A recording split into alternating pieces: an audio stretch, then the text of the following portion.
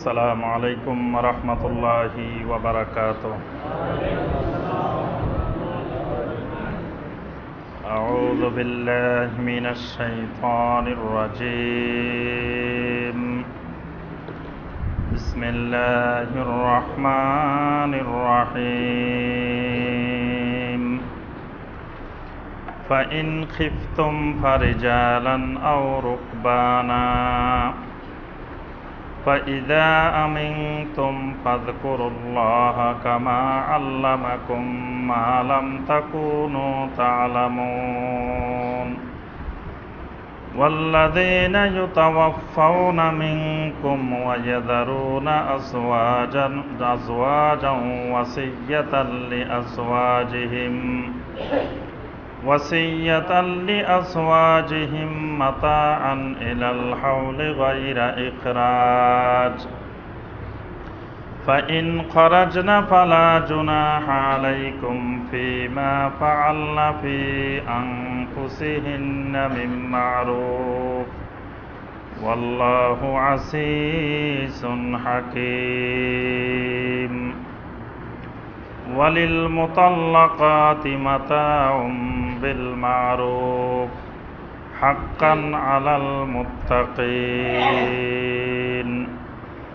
كذلك يبين الله لكم آياته لعلكم تعقلون. اللهم صل على محمد وعلى آل محمد. كما صليت على إبراهيم وعلى آل إبراهيم. إنك حميد مجيد. اللهم بارك على محمد وعلى آل محمد.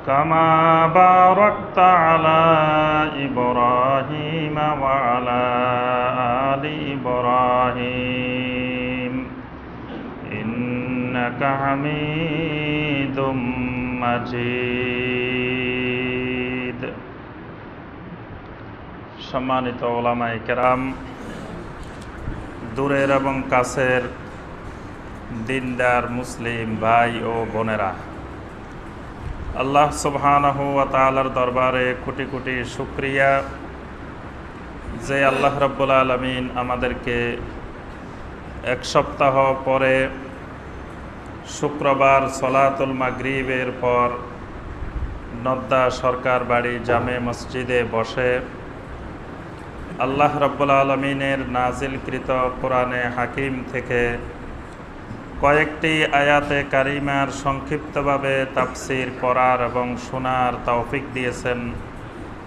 সেই আল্লাহ রব্বুল আলমিনের শকর আদায় করি, সকলে বলি আলহামদুলিল্লাহ। সম্মানিত ভাই ও বোনেরা, কোরআনে কারিমের ধারাবাহিক তাফসিরে যে সুরা থেকে আমাদের তাফসির চলছে, সেই সুরাটির নাম হলো সৌরা আল বাকারা সুরা আল বাকারার দুইশত আটত্রিশ নম্বর আয়াতে কারিমা পর্যন্ত গত তাফসিরে আমাদের আলোচনা হয়েছে। আজকে দুইশত উনচল্লিশ নম্বর আয়াতে কারিমা থেকে আমাদের তাফসির হবে ইনশাআল্লাহ। সুরা আল বাকারার উপরে সম্ভবত পঁচিশ পর্ব ইতিপূর্বে শেষ হয়েছে। আজকে হলো সৌরা আল বাকারার ছাব্বিশতম পর্ব। এখন যে মাসটি চলছে, এই মাসের নাম হলো শাহরু শাবান শাবান মাস। শাবান মাসের আজকে উনিশ তারিখ। আর দশ বা এগারো দিন পরে আরেকটি মাস আসতেছে, সেই মাসের নাম হলো শাহরু রমাদান। রমাদান মাস, কোরআনে কারিম নাজিলের মাস, কোরআনের উৎসবের মাস, কোরআন শিখার মাস, কোরআনে কারিম শিখানোর মাস, কোরআনে কারিমের আমলের মাস। অর্থাৎ এখন আমাদের এই দেশ জুড়ে বা এই অঞ্চল জুড়ে একটা মৌসুম চলতেছে। কিসের মৌসুম? আমের মৌসুম। এখন চতুর্দিক থেকে শুধু আম আম, জাম, কাঁঠাল, লিচু, মৌসুমি এসব ফলের এখন চতুর্দিকে জোরে সোরে আনাগোনা চলতেছে। রাস্তাঘাটে সব জায়গায় আমরা এইগুলা দেখতে পাই। ঠিক আল্লাহ পাকের তাওহিদের একটা মৌসুম আছে। যে সময় আসমান, জমিন, আকাশ, বাতাস সর্বত্র শুধু তাওহিদের স্লোগান চলে। ওই সময়টা কোন সময়? হজের সময়। মাশা আল্লাহ হজের সময় সারা দুনিয়া ব্যাপী আকাশ, বাতাস, সাগরে, জলে, স্থলে, সব জায়গায় কি উচ্চারিত হয়? আল্লাহ আকবার আল্লাহ আকবার। একদিকে তাকবীর উচ্চারণ হয়, আবার তালবিয়া। লাব্বাইক আল্লাহ হুম্মা লাব্বাইক লাব্বাইক আলা শারিক আলাকা লাব্বাইক। ইন্নাল হামদা ওয়ান নি'মাতা, লাকা ওয়াল মুলক, লা শারিকা লাক। এই স্লোগানটা হলো তাওহিদের স্লোগান। এখানে সেরেক মুক্ত তাওহিদি ইমানের ঘোষণা চলতে থাকে।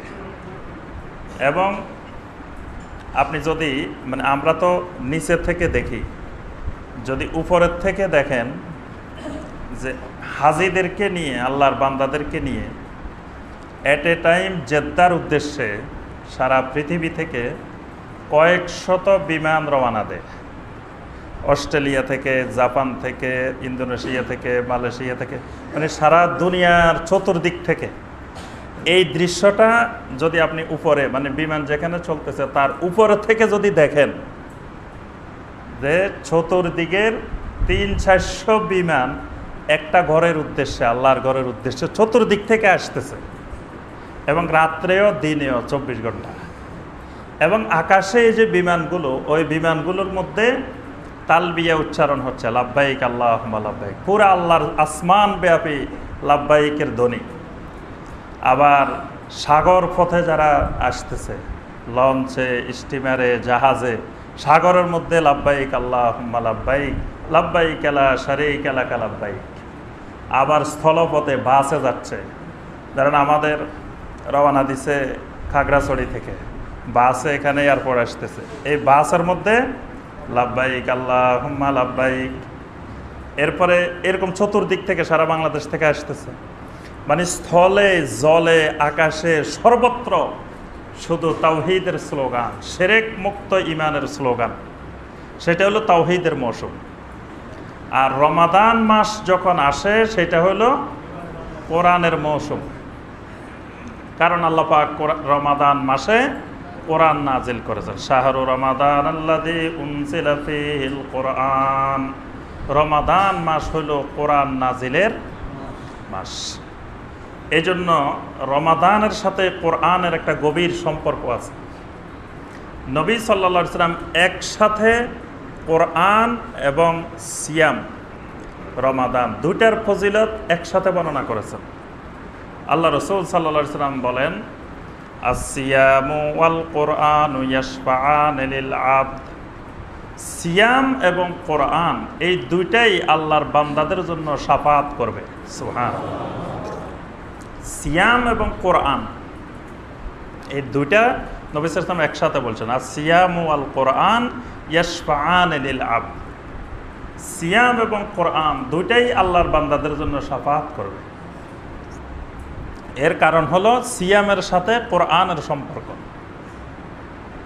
এই জন্য এই কোরআনের মৌসুমে যারা কোরআন তালাবাদ জানি না, কোরআনে কারিম তালাবাদ করতে পারি না, তাদের তাদের মতো হতবাগা এই জমিনে আর কেউ নাই।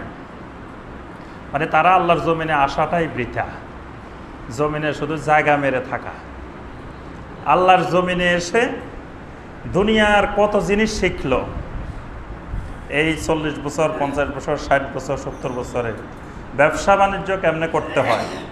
কেমনে মাল এক জায়গা থেকে কিনে আনতে হয়? কেমনে আরেক জায়গায় বিক্রি করতে হয়? কেমনে মানুষের ঠকানো যায়? কেমনে ব্যবসা বেশি করা যায়? সব শিখতে পারছে দুনিয়ার তারপরে আপনার ছেলে মেয়ে লালন পালন করা, পরিবার চালানো, সংসার চালানো, গাড়ি চালানো, কত রকমের কাজ, কত রকমের জিনিস দুনিয়াতে শিখলো। কিন্তু আল্লাহ পাক যেই এবাদতের জন্য সৃষ্টি করেছেন, সেই এবাদত শেখানোর জন্য যে কোরআন নাজিল করেছেন, সে কোরআনটাই সে শিখতে পারল না। তাহলে এই লোকটা তো দুনিয়াতে আসাটাই বৃথা, কি বলেন? সে ষাট বছর পর্যন্ত আল্লাহর দেওয়া বাতাস, আল্লাহর দেওয়া অক্সিজেন, আল্লাহর দেওয়া পানি, আল্লাহর দেওয়া এই শরীরের যন্ত্রপাতি সব ব্যবহার করছে। কোনোদিন তাকে ট্যাক্স লাগে নাই, কিছু দিতে হয় নাই, বিল দিতে হয় নাই। গ্যাসের বিল দিচ্ছেন অক্সিজেনের বিল। কত কোটি কোটি টাকার অক্সিজেন প্রতিদিন আমরা ব্যবহার করে যাচ্ছি, কোনোদিন বিল দেওয়া লাগছে। তো এত কোটি কোটি টাকার এত নিয়ামত ভোগ করার পরেও যদি সেই আল্লাহর কোরআনটাই শিখতে না পারি, তো দুনিয়াতে আসারে দরকার কি? মিনিমাম কোরআনটা সহি করে তালাওয়াত, এবং কোরআন নাজিলের মাসে কোরআনের বরকত আছে। এই জন্য বছরের এগারো মাসে যা শিখতে পারবেন না, রমাদান মাসে এক মাসে তার থেকে বেশি শিখতে পারবেন। সুহার কারণ এটা কোরআন নাজিলের মাস। এই জন্য যারা কোরআন তালাওয়াত পারি না, সেই সকল ভাই বোনদেরকে আমরা অনুরোধ করব, রমজান মাসে আপনি কোরআন শেখার ব্যবস্থা করেন। কোরআন শেখানোর আলহামদুলিল্লাহ এখন অনেক শিক্ষক আছে। শিক্ষকের এখন অভাব নেই। সব জায়গায়, ঢাকা শহরের গ্রামে সব জায়গায় এখন শিক্ষকের অভাব নেই। আপনি সহি কোরআন তালাবাত শিখেন। অনেক বাইয়ের কোরআন পড়তে জানে, কিন্তু সহি না, বিশুদ্ধ না। যে একটা এক অক্ষরের জায়গায় আরেক অক্ষর পড়ি। অসংখ্য ভুল, তাজবিদের কোনো নিয়ম কানুন নাই। তারা কোরআনটাকে সহি করি। কোরআন সহি করা ফরজ, ফরজে আইন। কারণ কোরআন ছাড়া নামাজ হয় না। কোরআন নামাজের মধ্যে, সলাতের মধ্যে কোরআন পড়া ফরজ, ফরজে আইন। তো ফরজে আইন ছাড়া নামাজ হয় কীভাবে? তাহলে কোরআন নামাজের জন্য শিখতে হবে ইমানের জন্য শিখতে হবে। আরেকটি বিষয় হলো, এই কোরআন নাজিলের মাসে আমরা যেন কোরআনে কারিমের অবমাননা না করি। খতমে তারাবিন নামে আমাদের দেশে দুই একটি জায়গা ছাড়া অসংখ্য জায়গায় কোরআন নাজিলের মাসে কোরআন অবমাননা করা হয়। কোরআনকে কীভাবে তালাবাত করতে হবে আল্লাহাক নির্দেশ দিয়েছেন না? সুরাল মুজাম্মেলের মধ্যে আল্লাহাক বলছেন, ওয়ারাত্তেলিল কোরআন তার তেলা কোরআন তালাবাত করো তার তেল আকারে। তার তেল কি জিনিস?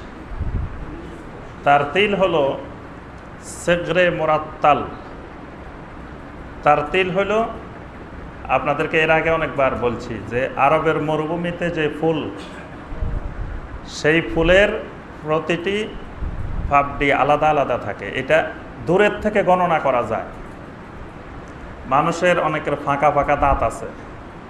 ওই ফাঁকা দাঁত যাদের, এদের দাঁত আলাদা আলাদা করে গণনা করা যায়।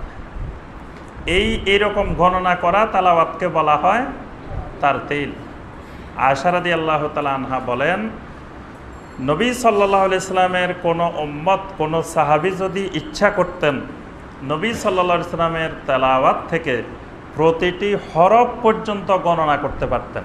সুহান শব্দ না শুধু, প্রতিটি অক্ষর। নবী সাল্লা ইসলাম কয়টি অক্ষর তেলাওয়াত করছেন সে অক্ষরটাও গণনা করা যায়। তাহলে তার তিল কোরআন তালাবাত করা। কোরআনে কারিম খতম করা মানে প্রথম থেকে শেষ পর্যন্ত তেলাওয়াত করতেই হবে রমাদানে, এই বাধ্যবাধকতা আল্লাহ এবং আল্লাহ রসুল করেন নাই। কিন্তু তারতিলকে বাধ্যতামূলক করেছেন। তারতিলের ব্যাপারে কোরআন নাজিল করেছেন, আয়াত নাজিল করেছেন, কিন্তু কোরআনের প্রথম থেকে শেষ পর্যন্ত খতম করে দেওয়া, এই কথার জন্য কোনো আয়াতও নাজিল হয় নাই, নবী সালামের কোনো হাদিসও নেই। তাহলে আপনার ক্ষমতা আছে এক পারা তালাবাত করার। এক পাড়ায় তালাবাত করেন। কিন্তু সেই এক পাড়া আপনি তার তেইল আকারে তালাবাত করেন। আপনার ক্ষমতা নাই। এতক্ষণ পর্যন্ত দাঁড়াই চলাত আদায় করার সাধ্য নাই। তা আপনাকে আল্লাহ বলছে আহা আল্লাহ কাউকে সাধ্যের বাহিরে, শক্তির বাহিরে আল্লাহ কাউকে কষ্ট দেন না। আপনার শরীরে পারতেছেন না, আপনার পক্ষে সম্ভব না। তা আপনাকে কে বলছে আপনি কোরআন খতম করতে হবে? আপনি এক পারা পারেন, এক পারা তালাবাত করেন, পাঁচ পারা পারেন, পাঁচ পারা তালাবাত করেন। কিন্তু তালাবাতকে তালাবাতের মতো করতে হবে। কোরআন খতম করতে যাই, এমন তালাবাত করলাম যে মাঝে মাঝে শুধু একটা টানের আওয়াজ শোনা যায়। সর্বশেষে আসে, ওয়াল্লাহ গাফুরুর রাহিম। এখান থেকে একটু টান শোনা যায়, শেষে দিকে। আর প্রথম থেকে শেষ কি তেলাওয়াত হচ্ছে? কোনো শব্দও বোঝা যাচ্ছে না, বাক্যও বোঝা যাচ্ছে না, শুধু একটা আওয়াজ শোনা যাচ্ছে। এরকম তেলাওয়াত করলে সাওয়াবের পরিবর্তে গুণা হবে। রমাদান মাসে ফজিলতের মাস, সোয়াবের যেমন ফজিলত, গুনারও এরকম ফজিলত। সোয়াব যেমন বেড়ে যাবে গুণাও এরকম বেড়ে যাবে। আমরা বলছি না, মসজিদে হারাম। মসজিদে হারামে এক রাকাত সলাত আদায় করলে কত কত রাকাত? এক লক্ষ রাকাত সুহান সেখানে একটা গুণা করলে ইমাম শাহি রহমতুল্লাহ বলছেন যে গুণাও এরকম এক লক্ষ হয়ে যাবে সেখানে। আপনি রমাদান মাস রমাদান মাস, আলহামদুলিল্লাহ, ফজিলতের মাস। এখন ফজিলতের মাসে যদি আপনি কোরআনকে যদি এভাবে তালাবাত করেন তাহলে তো ফজিলতের পরিবর্তে আপনি কোরআনের বিকৃতি করলেন, কোরআন অবমাননা করলেন, এটার জন্য গুণা হবে না? তাহলে আমরা যতটুকু পারি ততটুকু তেলাবাত করি, কিন্তু তার তীর তেলাবাত করার চেষ্টা করব। সকল হাফেজে কোরআন ভাইদেরকে আমরা অনুরোধ করব যে আপনারা বিত্তমানিনা তেলাওয়াত করবেন, সলাত আদায় করবেন, বিত্তমানিনা। তমানিনা সলাতের মধ্যে ফরজ। তমানিনা মানে প্রশান্ত চিত্তে। একজন যিনি কেয়াম রমাদান করবেন, তার তারাবি পড়বেন আপনার পিছনে। তিনি যাতে সুন্দরভাবে তিনবার সোহান রাব্বিয়াল আজিম তা পড়তে পারেন। তিনি যাতে দাঁড়িয়ে রব্বানা ওয়ালাকাল হাম, হামদান কাসিরান তৈবান মোবারকান ফি পড়তে পারেন। তিনি যাতে সাজদার মধ্যে তিনবার কমপক্ষে সুন্দর করে, স্পষ্ট করে সুবহান রব্বিয়াল আলা বলতে পারেন। তিনি যাতে দুই সেজদার মাঝখানে বসে আল্লাহ হুম্মাক ফিরলি ওয়ার হামনি ওয়ার জুকনি ওয়াহাদিনী ওয়া আফিনি এটা বলতে পারেন শেষ বৈঠকে তিনি যাতে আত্মাহিয়াত দরুদ, দোয়ায় মাসুরা সুন্দর করে বলতে পারেন তেলাওয়াত যাতে আপনার প্রতিটা শব্দ যেন বুঝতে পারে। এইরকম সলাতের নাম হলো তমানিনা, বিত্তমানিনা। এই বিত্তমানিনা প্রশান্ত চিত্তে সলাত আদায় করেন। বিশ না পারলে আট রাকাত পড়েন। আর পারলে বেশি পারলে ছত্রিশ রাকাত পড়েন। চল্লিশ রাকাতও পড়েন। এটা আপনার মুসল্লি বুঝে। মুসল্লির যদি পাওয়ারফুল হয়, তাহলে আপনি ছত্রিশ রাকাত পড়েন। মুসল্লি যদি আরও দুর্বল, তো বিশ টাকাত পড়েন। আরও দুর্বল মুসল্লি, আট টাকাত পড়েন। আপনাকে তো সাধ্যের বাহিরে আল্লাহা কষ্ট দিতে চান না। আপনার জন্য বিশ বাধ্যতামূলক করেন নাই, আট টাকা তো বাধ্যতামূলক করেন নাই, ছত্রিশ টাকা তো বাধ্যতামূলক করেন নাই। আপনি একবারে পারতেছেন না, আপনি বিছানায় শোয়া। তারা তারাবি কয় রাকাত পড়বেন? ফরজে পড়তে পারেন না, ফরজ পড়তে কষ্ট হয়। আপনার তারাবি পড়া লাগবে? আপনি এক রাকাতও পড়া লাগবে না।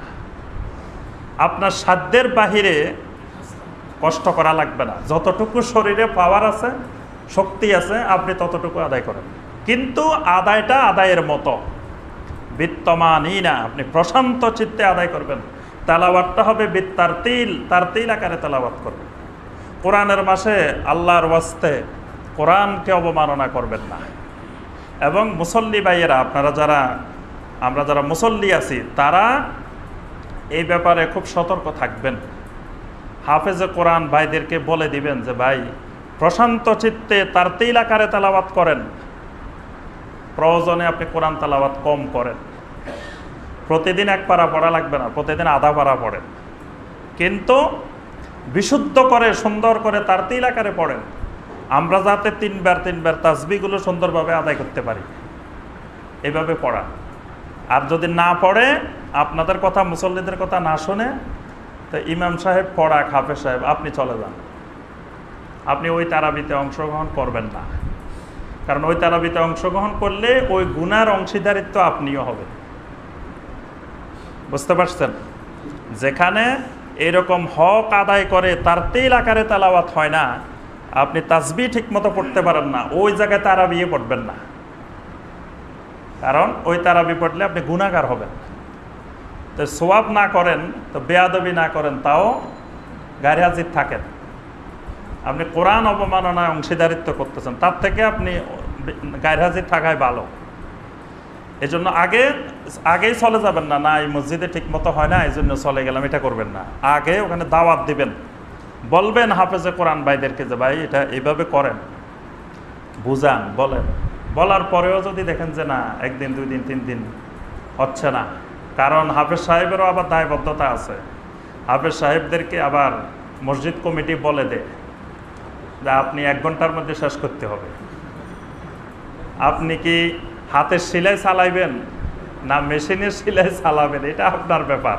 কিন্তু আমাদের দরকার হলেও এক ঘণ্টার মধ্যে আপনার শেষ করতে হবে। সুতরাং আপনি ইলেকট্রিক মেশিন লাগাই দেন, অসুবিধা নাই। আপনি শুধু চালাইলেই হলো। হ্যাঁ। আমাদের সমাজের অধিকাংশ মসজিদে কমিটি এরকম বলে দেয় হাফেজ বলে যে এই মসজিদে তিরিশ মিনিটে শেষ হয়ে যায়, আমাদের মসজিদে কেন পঞ্চাশ মিনিটেও শেষ হয় না? এরকমও বলে আবার।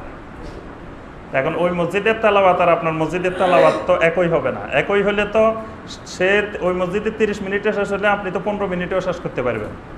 শেষ করা তো কোনো ব্যাপার না। পনেরো মিনিটে এসা তারাবি সব শেষ করা হয়, এরকম জায়গাও আছে বাংলাদেশে। পনেরো মিনিটে এসা তারাবি সব শেষ হয়ে যায়। তো ওই ওই ইমাম সাহেবকে জিজ্ঞাসা করা হলো যে, পনেরো মিনিটে যে সব যে শেষ করে ফেলান, আমরা তো একবারও তাজবি পড়তে পারি না।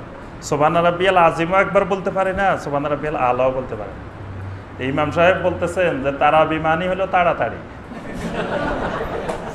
আরবিতে বলে তার, তারাবি, বাংলায় বলে তাড়াতাড়ি। দেখেন না, তারাবি মানে তাড়াতাড়ি।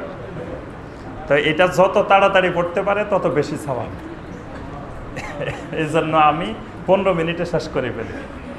একেবারে তাড়াতাড়ি বেশি স্বভাব আপনাদের। তো যদি এরকম পনেরো মিনিটে শেষ করার ইচ্ছা করেন, পনেরো মিনিটেও শেষ হবে। কিন্তু ওইটাতে স্বভাবের আশা করা যাবে না। এই জন্যই নবী সালাম বলছেন, মান কম ইমানান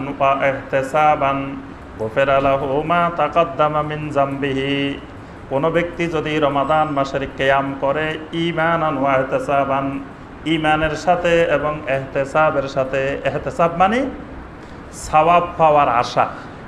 ওই পনেরো মিনিটে পড়ে আপনি সওয়াব পাওয়ার আশা করতে পারবেন না। যদি তমানি না তার তিল আকারে তালাবাত করেন, তাহলে আপনি এহতেসাব সোয়াব পাওয়ার আশা করতে পারেন। আর ওই রকম তালাবাত হলেই গুফের আলাহ মা তাকাদ্দামা জাম্বিহি আল্লাহ পাক আপনার অতীতের সকল গুণা মাফ করে দিবেন। এই জন্য এই মাহের রমাদান উপলক্ষে আমরা প্রাথমিকভাবে এই কথাটা বললাম, সবাই রমাদান মাসে এই বিষয়টা আমরা খেয়াল রাখার চেষ্টা করব। আর এখন তো মক্কা মদিনার তারাবি আমরা টিভিতেই দেখি। সেখানে লক্ষ্য করবেন যে ইমাম সাহেবেরা হাফেজে কোরআনেরা কীভাবে তালাবাত করতেছে। ওই তেলাওয়াতটা ফলো করেন। মক্কা, মদিনা ফলো করা ফরজ না। ফলো করা ফরজ হলো কোরআন সুন্না মক্কা, মদিনা কি করে, ওটা মূল বিষয় না। কিন্তু মানে তারতিল কোরআন তালাওয়াত, এটার নমুনা সেখানে আছে। মানে তারতিল তালাওয়াত বলতে কি বোঝায়, সেটা সেখানে তালাওয়াত হচ্ছে। এই জন্য আমরা বলতেছি যে ওইটাকে ফলো করেন, ওই তালাওয়াতটা দেখেন। দেখলে আপনি বুঝতে পারবেন যে এই এইরকম তালাওয়াত করে তারা পড়তে হবে। আল্লাহ পাক আমাদের সবাইকে তৌফিক দান করুন সুরাল বাকারার দুইশত উনচল্লিশ নম্বর আয়াত। আটত্রিশ নম্বর আয়াতে আল্লাহ পাক সলাতের ব্যাপারে বিশেষভাবে গুরুত্ব দিয়েছেন। হাফেজু আলা সলাওয়াত, সলাতের উপরে তোমরা যত্নবান হও, সলাতের হেফাজত করো। এরপরে আল্লাপাক বলতেছেন, এই সলাতের হেফাজত করতে গিয়ে যেই অবস্থায় তুমি আসো সেই অবস্থায় হেফাজত করো।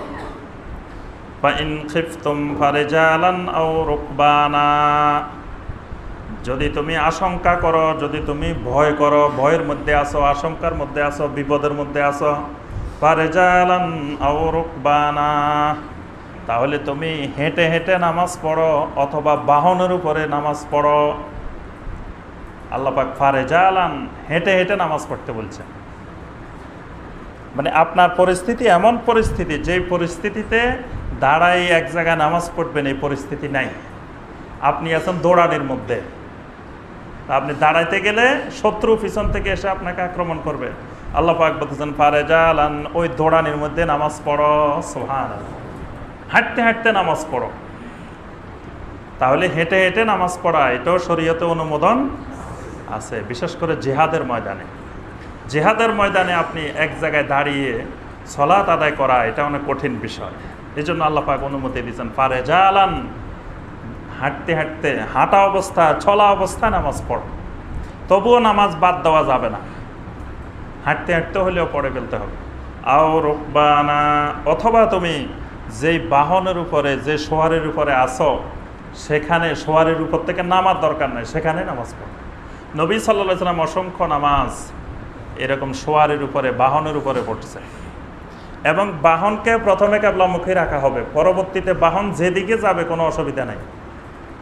সেদিকে ফিরেই চলাত আদায় করে। এখান থেকে মাসালা হলো, আপনি বাসে, ট্রেনে, বিমানে যেই দিকেই আছেন সেই দিকেই ক্যাবলা যদি ক্যাবলার দিকে ফিরা সম্ভব না। হয় যেভাবে বসা আছেন, সেভাবেই চলাত আদায় করে ফেলবে। সেটা উত্তর দিক হোক, দক্ষিণ দিক হোক, যে কোনো দিক হোক। আল্লাহ পাক বলতেছেন, এরকম ভয়ের মধ্যে যদি থাকো, তাহলে হাঁটা অবস্থায়, চলা অবস্থায়, বাহনের উপরে, তবুও সলাতের ব্যাপারে যত্নবান হও। সলাতের হেফাজত করো। এই জন্যই সলাতের কোনো কাপ পারা নাই। কারণ একজন মুমিনের মৃত্যু পর্যন্ত কোনো সলাদ বাদ যাওয়ার আশঙ্কা নাই। দাঁড়ায় পারলে দাঁড়ায় পড়বে, বসে পারলে বসে পড়বে, শুয়ে পারলে শুয়ে কায়ত হয়ে পারলে কায়ত হয়ে, শীত হয়ে পারলে শীতে, যেভাবে সে পারে। এখন যদি মৃত্যুর আগে সে বেহস থাকে, তার হোঁসে নাই, তাহলে তো তার নামাজে মাপ। তাহলে নামাজের কাপ্পারা আসবে কীভাবে? আমাদের দেশে নামাজের কাপ্পারা, মানুষ মারা গেলে জানাজার আগেই কাপ্পারার হিসাব করে। মানে মুদ্রা জান্নাতে যাক আর জাহান নামে যাক। আগে ইমাম সাহেবের কাপ্পারার টাকা চলে আসতে হবে। এজন্য আগে ভাগে হিসাব, কত ওয়াক্ত নামাজ পড়তে পারে নাই? দুইশো ওয়াক্ত, তিনশো ওয়াক্ত, এক ওয়াক্ত এত এত গুণ এত। বাস, হিসাব নিকেশ। তাও আরও নামাজ এক ওয়াক্ত বাড়ানো হয়েছে। এমনি তো নামাজ পাঁচ ওয়াক্ত। কাপ্পারার হিসাবে নামাজ ছয় ওয়াক্ত। এটা জানেন? টাকার বরকত হওয়ার জন্য। আরও এক ওয়াক্ত বেশি। কাপ্পারার ক্ষেত্রে ছয় ওয়াক্ত, বিতিরও এক ওয়াক্ত। অথচ বিতির সুন্নত নামাজ, এটার কোনো কাপ্পারা লাগে না। হানাফি মাঝহাবে ওয়াজিব বলা হয়েছে, কিন্তু ওয়াজিবেরও কোনো কাপ্পারা নাই। ফরজের যেখানে কাপ্পারা নাই, ওয়াজিবের তো প্রশ্নই আসে না। সেখানে ছয় ওয়াক্ত বানায় আরও টাকার সংখ্যা আরও বাড়ানো হয়েছে। তাহলে কাপ্পারা আসবে কীভাবে? কারণ একজন মুমিনের তো নামাজে বাদ যাবে না। নামাজ বাদ গেলে না কাপ্পারার হিসাব আর বাকি হিসাব। আর যদি উনি অসুস্থ থাকেন, উনি যদি বেহস থাকেন ওনার তখন হোসে নাই, তো উনি নামাজ পড়বে কীভাবে? আল্লাহ পাক তো তাকে নামাজ মাফে করে দিছেন এটার জন্য আবার কাপ্পারা দিতে হবে কেন? এই আয়াত সেটাই দলিল, সেটাই প্রমাণ করতেছে যে নামাজ বাদ যাবে না। হাঁটা অবস্থায়, বাহনে থাকলে যে কোনো অবস্থায় সলাতের ব্যাপারে হেফাজত করতে হবে।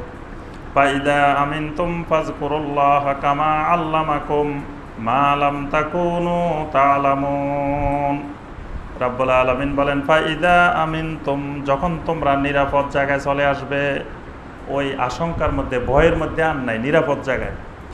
ফাজকুরুল্লাহ কামা আল্লামাকুম তখন তুমি আল্লাহর জিকির করবে এমনভাবে, যেভাবে আল্লাহ পাক তোমাদেরকে শিখিয়েছেন। আল্লাহর শেখানো পদ্ধতিতে জিকির করতে হবে। আল্লাহর শেখানো পদ্ধতির বাহিরে নিজের পদ্ধতিতে জিকির করলে সেই জিকির আল্লাহ রব্বুল আলমিন কবুল করবেন না। এখানে জিকির বলতে বিশেষ করে সলাদ ফাজকুরুল্লাহ কামা আল্লামাকুম। আল্লাহ পাক তোমাদেরকে যেভাবে শিখিয়েছেন, সলাতের পদ্ধতি আমরা শিখলাম কীভাবে? সলাদ কীভাবে শিখছেন? হ্যাঁ জিবরিল আলহিসাল্লাম এসে আল্লাহর পক্ষ থেকে আমাদেরকে দেখাই দিছে। যে রুকু কেমনে করতে হবে, সেজদা কেমনে করতে হবে, বসতে হবে কীভাবে, এগুলো সব আল্লাহর পক্ষ থেকে শিখিয়ে দেওয়া হয়েছে। আল্লাহ পাক বলতেছে মা আলাম তাকুনু তালামুন যে ব্যাপারে তোমরা কিছুই জানতে না, কোনো এলেমে ছিল না। তাহলে এবাদতের বিষয়ে আল্লাহ পাক শিখান। এবাদত নিজের পদ্ধতিতে, নিজের সিস্টেমে করা যায় না। এবাদত আল্লাহর পক্ষ থেকে যেভাবে শেখানো হয়, সেভাবে করতে হয়। তা আল্লাহর পক্ষ থেকে এবাদতটা শেখানো হবে কীভাবে? ওহির মাধ্যমে শেখানো হবে। ওহি নাই, শেখানোর পদ্ধতি বন্ধ। তাহলে সমস্ত এবাদত কোন পদ্ধতিতে করতে হবে, কীভাবে করতে হবে, এটা নবী সাল্লা ইসলাম জীবিত থাকাকালীন অবস্থায় আল্লাহ পাক শিখিয়ে দিয়েছেন। নবী সাল্লাহ সাল্লামের এন্তেকালের পরে আর নতুন করে এবাদত শিখানোর কোনো রাস্তা নাই, কেউ নাই। কারণ ওহি বন্ধ, তো ওহি বাদে আপনি শিখবেন কীভাবে? এটা তো এবাদত তো গায়েবের বিষয়।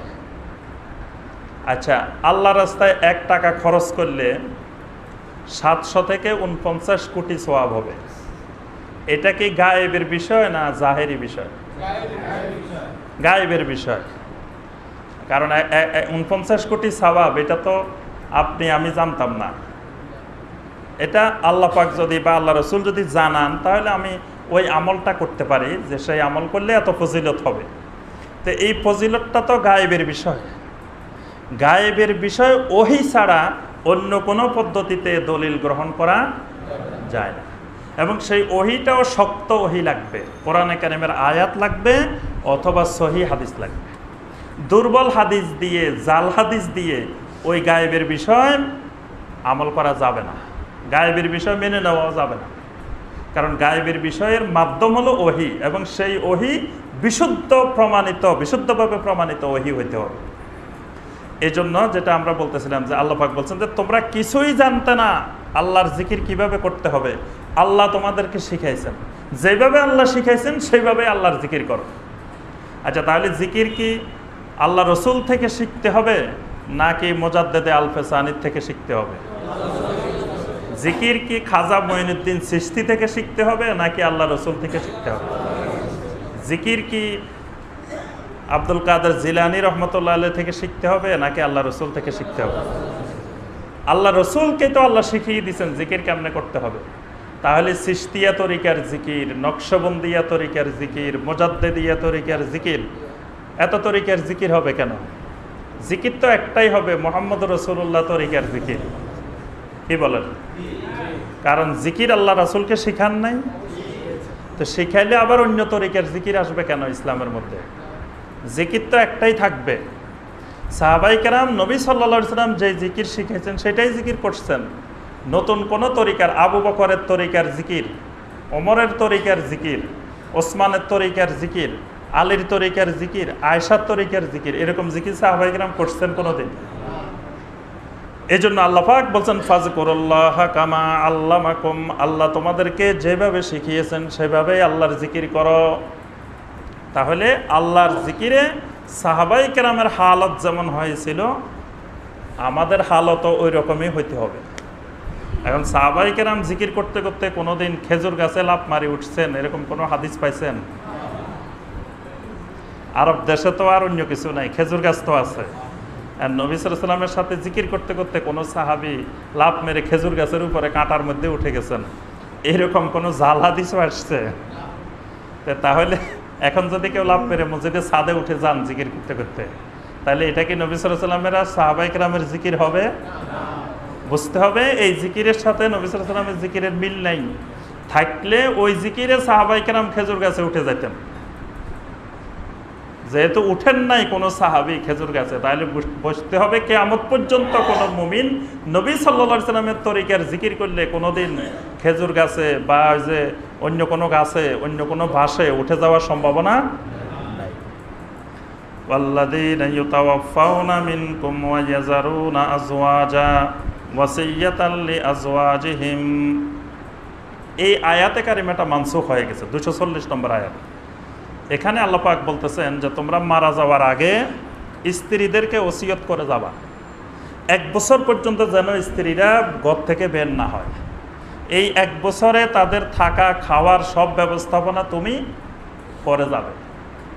পরবর্তীতে আল্লাপাক এটাকে মানসুখ করে দিয়েছেন যে আল্লাপাক তাদের জন্য চার মাস, দশ দিন ইদ্যত নির্ধারণ করছে স্বামী মারা গেলে স্ত্রী চার মাস, দশ দিন ইদ্যত পালন করবে। ওই আয়াত দ্বারা এই এক বছরের ওসিয়ত এটা মানসুখ হয়ে গেছে। আল্লাহ পাক বলতেছেন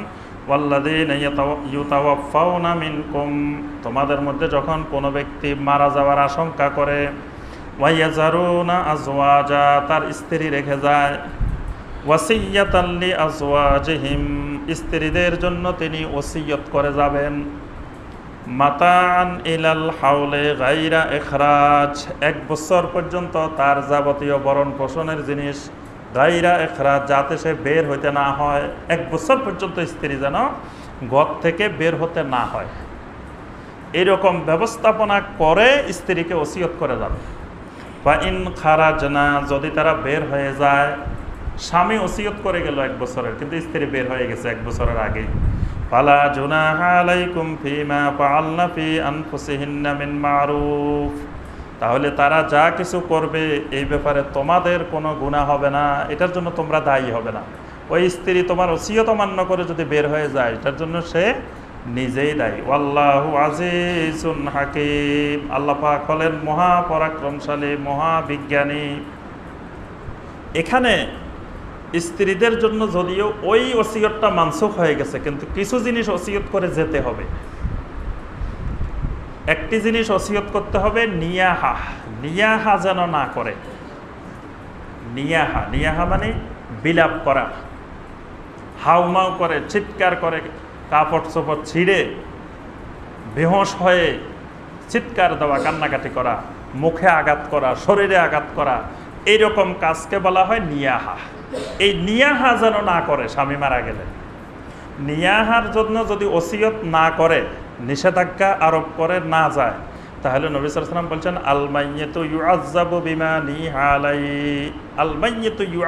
ফি যেই মাইয়াতের জন্য নিয়াহা করা হবে, ওই মাইয়াতের কবরে আজাব হবে। তাহলে এখন মাইয়াতে তো কিছু করতেছে না, করতেছে তার ওয়ারিসেরা, তার স্ত্রী, তার ছেলেমেয়েরা। মাইয়াতের আজাব হবে কেন? মাইয়াত কেন তাদেরকে শিক্ষা দিল না? তিনি দুনিয়াতে থাকতে স্ত্রীকে ছেলে মেয়েকে কেন শিক্ষা দিল না, দিন শিখাইল না? এজন্য কবরে তার আজাব হবে। এজন্য তিনি জীবিত থাকাকালীন এই ব্যাপারে ওসিয়ত করে যাবেন যে, খবরদার, আমি মারা গেলে তোমরা এইসব কাজ করবে না। এখন উনি মারা গেছেন, এরা শুরু করছে আবার সেসব কাজ। ষাট দিন না করা, দশ দিন না করা, চল্লিশ দিন না করা, পিঠা দেওয়া, সিন্নি দেওয়া, এই করা, সেই করা, অসংখ্য বেদার শুরু করে দিছে। তাহলে এটার জন্য কি উনি দায়ী থাকবে? ওনার কোনো আজাব হবে না। এবার যা গুণা হবে সবগুলা এদের। এজন্য এই ওসিয়ত করে যেতে হবে পরিবারকে। এরপরে স্ত্রীকে পর্দার ব্যাপারে, হেজাবের ব্যাপারে সন্তানদেরকে তারা যেন মিরাজ সঠিকভাবে বন্টন করে। মায়ের হক মাকে যথাযথভাবে দে, বোনদের হক বোনদেরকে যথাযথভাবে দে এইসব ব্যাপারগুলো ওসিয়ত করে যাবে ওয়ালিল মোতাল্লাকাত মাতা বিল মারুফ। ঠিক একইভাবে তালাক প্রাপ্তা স্ত্রীদের জন্য সে তালাকের ইদ্যৎকালীন সময়ের যাবতীয় ব্যবস্থাপনা করতে হবে। হাক্কান আলাল মোত্তাকিন। এটি মোত্তাকিনদের উপরে হক নির্ধারিত অধিকার। কাদালিকা ইউবাইয়িনুল্লাহু লাকুম আয়াতিহি লাআল্লাকুম তাকিলুন। রব্বুল আলমিন বলেন, এইভাবেই আল্লাহ পাক তোমাদের জন্য আল্লাহর আয়াতগুলোকে স্পষ্ট করে বর্ণনা করে দেন। লা আল্লাকুম তাকেলুন, যাতে তোমরা অনুধাবন করতে পারো, বুঝতে পারো।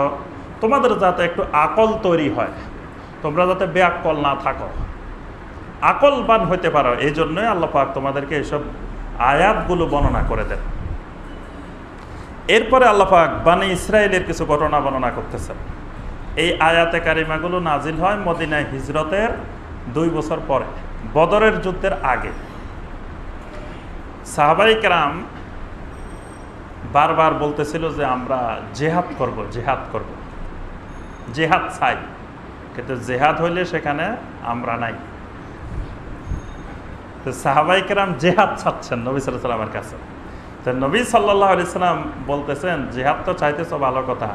জেহাদ যখন শুরু হবে তখন কি খুঁজে পাওয়া যাবে? তখন আল্লাহ রব্বুল্লা আলমিন ওই বানি ইসরায়েলের জেহাদের ঘটনা, যে বানি ইসরায়েলিরাও এরকম জেহাদ জেহাদ করছে, কিন্তু যখন জেহাদ শুরু হয়েছে ওই যে আমরা নাই। যাও, মুসা। তোমরা জেহাদ করো। ওই ব্যাপারে আল্লাহ পাক এখানে কয়েকটি বিষয় বর্ণনা করে মুমিনদেরকে এই ব্যাপারে উদ্বুদ্ধ করতেছেন। দুশো তেতাল্লিশ নম্বর আয়াত থেকে এই বিষয়ে আলোচনা শুরু। আল্লাহ পাক বলেন, আলাম তারা ইলাল্লাদিনা খারাজু মিন দিয়ারিহিম? আপনি কি তাদের ব্যাপারে অবগত হয়েছেন? যারা তাদের বাড়িঘর থেকে বের হয়ে গিয়েছিল, ওয়াহুম উলুফুন, তারা ছিল হাজার হাজার হাজার আল মাউত মৃত্যুর বয়ে এখানে মুসা আলাহিসাল্লামের সাথে এরা মিশর থেকে বের হয়ে নদী পার হয়ে আরেকটা দেশে আসছে না? তিহ ময়দানে আসছে। এই যে ফেরাউনের কবল থেকে রক্ষা পেয়ে যখন এই পাড়ে আসছে। এখানে হাজার হাজার আসছে। তারা মৃত্যু থেকে বাঁচার জন্য নিজেরা এখানে আসছে। আসার পরে আল্লাপাক বললেন, শুনো, তোমাদেরকে আমি আল্লাপাক একটা ভূখণ্ড দিতে চাই। সেই ভূখণ্ডটা কোনটা? ফিলিস্তিন। ফিলিস্তিন আমি তোমাদেরকে দিয়ে দেব। শর্ত হলো, এমনি দিব না, জেহাদ করে নিতে হবে। তখন এরা বলতেছে, না, এই জায়গায় নাই আমরা। আমাদের জায়গা জমিনেরও দরকার নাই, ফিলিস্তিনও দরকার নাই, জেহাদেরও দরকার নেই। আমরা এই কাজ পারব না। তা আল্লাহাক বললেন, ঠিক আছে, না পারলে? ফকাল মুতু। আল্লাহাক তাদেরকে বললেন, মরতে থাকো। বাস ওখানে যাইও না, এখানে না খাই মরি থাকো। মানে এই ময়দানে যেহেতু ফিলিস্তিনের মধ্যে সুন্দর বাগান আছে, ফল ফলাদি আছে, খাবার আছে, সব আছে। কিন্তু সেখানে যাইতে হলে হয়তো কিছু লোক শাহাদাত বরণ করতে হবে। কিছু লোক শহীদ হলে বাকি তোমাদের হাজার হাজার পরবর্তী প্রজন্ম আরামে থাকতে পারবে। অ্যান্ড কিছু লোক যেহেতু শহীদ হইতে রাজি নাই। সুতরাং ফকাল আল্লাহমল্লাহ তো এবার এখানে কষ্ট করতে করতে মর। এরপরে আল্লাহর গজব নাজিল হয়েছে এদের উপরে।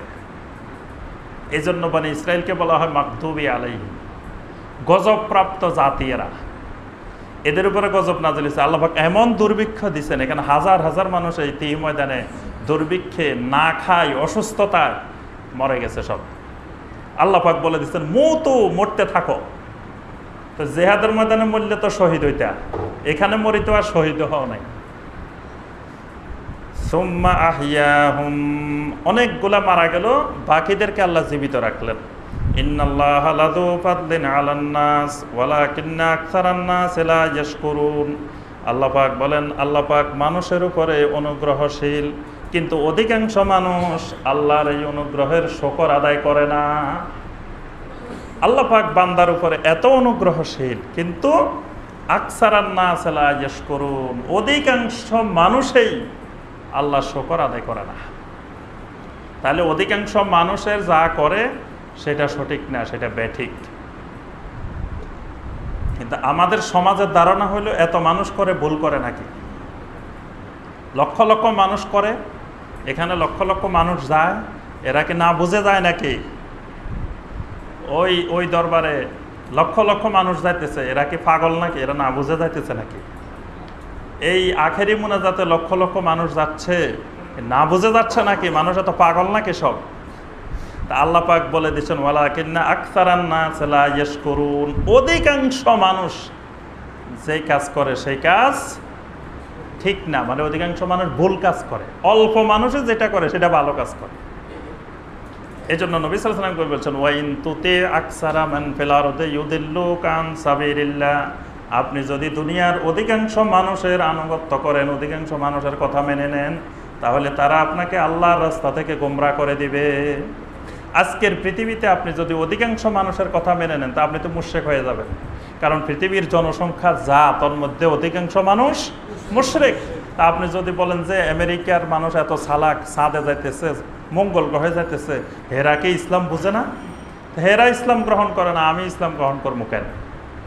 ইউরোপের লোকেরা এত পণ্ডিত, এত চালাক, এত টাকা পয়সার মালিক, তারাও তো ইসলাম গ্রহণ করে না। হেরা কি বুঝে না? এইভাবে আপনি যদি পৃথিবীর অধিকাংশ মানুষের কথা মেনে নেন, তা আপনি মুশ্রিক হয়ে কবরে যাইতে হবে। এজন্য অধিকাংশ মানুষ শরীয়তের কোনো দলিল না। এই আকিদা স্পষ্ট থাকতে হবে যে অধিকাংশ মানুষ করুক, কোটি কোটি মানুষ করুক, কোটি কোটি মানুষ বেদাতের মধ্যে থাকতে পারে, কোটি কোটি মানুষ না বুঝার মধ্যে, গুমরাহির মধ্যে থাকতে পারে। কিন্তু আমার আমল যদি কোরআন সুন্নার থেকে মিল থাকে, তা আমি একজন হলেও হেদায়তের উপরে আছি। এই আকিদা মজবুত থাকতে হবে। অনেক সময় আকিদা দুর্বল হয়ে যায়। মানুষ মনে করে যে এই সমাজে এত মুসলমান, সবাই দেখি একরকম, আমি আরেক রকম কি? আমি গোমরা না সমাজের লোক গোমরা?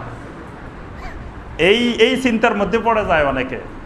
দেখি রে, এই সমাজে এত মুসলমান, এত মানুষ, সবাই একরকম, আমি আরেক রকম। তাহলে কি আমি গোমরা না এরা গোমরা? তো মনে করে এত মানুষ কি ভুল ভুল করতেছে নাকি? মনে হয় আমি গোমরা। বুঝতে পারছেন? মন মানসিকতা অনেকে দুর্বল থাকে। এটা দুর্বলতা আনা যাবে না। সমাজের অধিকাংশ মানুষ যাই করুক, তারা বেদাতের উপরে থাকতে পারে, সেরেকের উপরে থাকতে পারে, গুমরাহির উপরে থাকতে পারে। আমি সেরেক মুক্ত কিনা, বেদাত মুক্ত কিনা তৌহিদের উপরে আছে কিনা, সুন্নাতের উপরে আছে কিনা? আল্লাহ পাকের জন্য বলছেন, অধিকাংশ মানুষেরাই আল্লাহর শকর আদায় করে না। ওয়াকাতিলু ফি সাবিলিল্লাহ, সুতরাং মুমিনেরা তোমরা আল্লাহর রাস্তা লড়াই করো। ওয়ালামু আন্নাল্লাহ সামিউন আলিম, আর জেনে রাখো, আল্লাহ সব কিছু শুনেন আর জানেন। এরপরে বদর যুদ্ধ আসবে। এই বদর যুদ্ধের আগে আল্লাহ কাতিলু ফি সাবিলিল্লাহ আল্লাহ রাস্তা জিহাদের আয়াত, সংগ্রামের আয়াত নাজিল করেছেন। মানজাল্লাজি ইউকরিদুল্লাহ কারদান হাসানা, বদরের যুদ্ধে টাকারও দরকার। খালি যুদ্ধে, যুদ্ধ তো লাভ মেরে আমি চলে গেলাম যুদ্ধ করার জন্য, যুদ্ধ তো হবে না। এর সাথে অর্থ জড়িত আছে যুদ্ধের যেতে হবে। এই জন্য আল্লাপাক অর্থ খরচ করার জন্য, টাকা খরচ করার জন্য উদ্বুদ্ধ করে আল্লাপাক বলতেছেন ইউকরিদুল্লাহ কারদান হাসানা কে এমন আছে যে আল্লাহ রব্বুল আলমিনকে করজে হাসানা দিবে? আল্লাহকে করজে হাসানা দিবে। দেখেন আল্লাহ কত গরিব, নাকি? কাফেরারা বলে, ইন্নাল্লাহ ফাকির ওয়ানাহানু আগনিয়া। আমরা হইলাম ধনী, আল্লাহ হইল ফকির নাওজুবিল্লাহ কারণ আল্লাহ আমাদের কাছে ঋণ চায়, কর্জে হাসানা চায়। তো কর্জে হাসানা গরিব মানুষ হইতে চায়। আল্লাহ পাক আমাদের কাছে কর্জে হাসানা চাচ্ছেন। আল্লাহ পাক বলতেছেন, তোমাদের মধ্যে কে আছে যে আমাকে কর্জে হাসানা দিবে? অর্থাৎ এই এখানে যে খরচটা করবে, এই খরচটা আমি আল্লাহর হাতেই দিবে সে। এটাকে আমি কর্জে হাসানা হিসাবে গ্রহণ করে, কর্জে হাসানা যেমন যিনি ঋণদাতা তাকে ফেরত দিতে হয়, আমি আল্লাহ এটা তাকে অনেক গুণ বাড়িয়ে তাকে ফেরত দিয়ে দিব। সোহান এই জন্য আল্লাহ পাক নাম দিয়েছেন এটার কর্জে হাসানা। আল্লাহ পাক এই কর্জে হাসানাকে অনেক অনেক গুণ বাড়িয়ে আল্লাহ ফেরত দিবেন। সোহান এটা আল্লাহ বলতেছেন আদাফান কাসিরা। এটা যে সে মানুষ বলতেছে না। রাব্বুল আলমিন বলতেছেন আত আফান কাসিরা অনেক অনেক গুণ বাড়াই দিবেন। সোহান আল্লাহ এবার এই বাড়ানো যে কত বাড়ানো, এটার কোনো নির্দিষ্ট সংখ্যা নাই। আল্লাহ ইয়াকবেতু ইয়াকসুতু। আল্লাহ পাক রিজিক সংকুচিত করেন, আবার আল্লাহ পাক প্রসারিত করেন। রিজিক সংকুচিত করার মালিকও আল্লাহ, প্রসারিত করার মালিকও অনেক সময় আমরা চিন্তা করি যে আল্লাহ রাস্তায় দিয়ে ফেলব? হুজুরের বয়ানের ঠেলায় পকেটের সব বাইরে যাচ্ছে, পরে আমার কি অবস্থা হবে? এজন্য দেখবেন অনেক ওয়াজ মাহফিলে, আমরা ছোটোবেলায় দেখতাম যে মাদ্রাসার মাহফিলে কত মানুষ দান লেখাই গেছে, একশো আড়ি দান দুইশো আড়ি দান এত লক্ষ টাকা, এত হাজার টাকা, পরে আড়ি টাকা দে না। কিরে মাহফিলে লেখাইছে, হুজুরে মারহাবা বলছে, আমরা মারহাবা বলি মাহফিল ফাটাই ফেলছি। দোয়া করতে করতে তারা জান্নাতুল ফেরদাউসে পৌঁছাই দিছি। তার মা, বাবা, চোদ্দ গোষ্ঠী সবাই বাহিরের থেকে টানি আনি জান্নাতে ঢুকাই দিছি। এত কিছু করলাম মাহফিলের মধ্যে, পরে সে টাকা দে না। তো এখন না দেওয়ার কারণ কি? ওই ওই সময় জজবার ঠেলায়। হ্যাঁ সে লিখে ফেলছে। কিন্তু পরে বাড়ির যে চিন্তা করছে যে আমি যদি এগুলো দিয়ে দিই, তো সারা বছর চলবো কেমনে? আমার তো চলা কষ্ট হয়ে যাবে, আর দেওয়া যাবে না। এই আল্লাহ পাকের জন্য সাথে সাথে বলতেছিল আল্লাহ ইয়াকবে তো আল্লাহ পাক রিজিক সংকুচিত করেন, সম্প্রসারিত করেন। তুমি এটা আল্লাহ রাস্তায় দিয়ে দিলে, আল্লাহ পাক কত দিক থেকে তোমার ব্যবস্থা করে দিবেন সেটা তুমি কল্পনাই করতে পারো না। আল্লাহ পাক ইচ্ছা করলে রিজিককে সংকুচিত করতে পারেন, সম্প্রসারিত করতে পারেন। ওয়া ইলাই হিতুর যাউন আর তোমাদেরকে আল্লাহর দিকেই ফেরত যেতে হবে। মুসা আলহিসাল্লাম দুনিয়া থেকে মারা গেলেন। নবী রাসুলেরা কি মারা গেছেন না জীবিত? মারা গেছেন। তো মুসা আলাহিসাল্লাম মারা যাওয়ার পরে ওই যেই প্রজন্মকে আল্লাহ বলছেন যে ফিলিস্তিন দিবেন, এই প্রজন্ম সব মরে গেছে। এবার আল্লাহ পাক তাদের মানে ইসরায়েলের দায়িত্ব দিলেন নবী সামুয়েল সামুয়েল আলহিসাল্লাম একজন নবী ছিলেন বনি ইসরায়েলের ওনাকে দায়িত্ব দিলেন। যে উনি এবার বৃদ্ধ হয়ে গেছেন। তখন বানি ইসরায়েল আসি বলতেছেন যে, আপনি তো বৃদ্ধ হয়ে গেছেন। এখন মানে এই প্রজন্ম এবার জেহাদ করবে। আপনার নেতৃত্বে তো জেহাদ করা কঠিন বিষয়।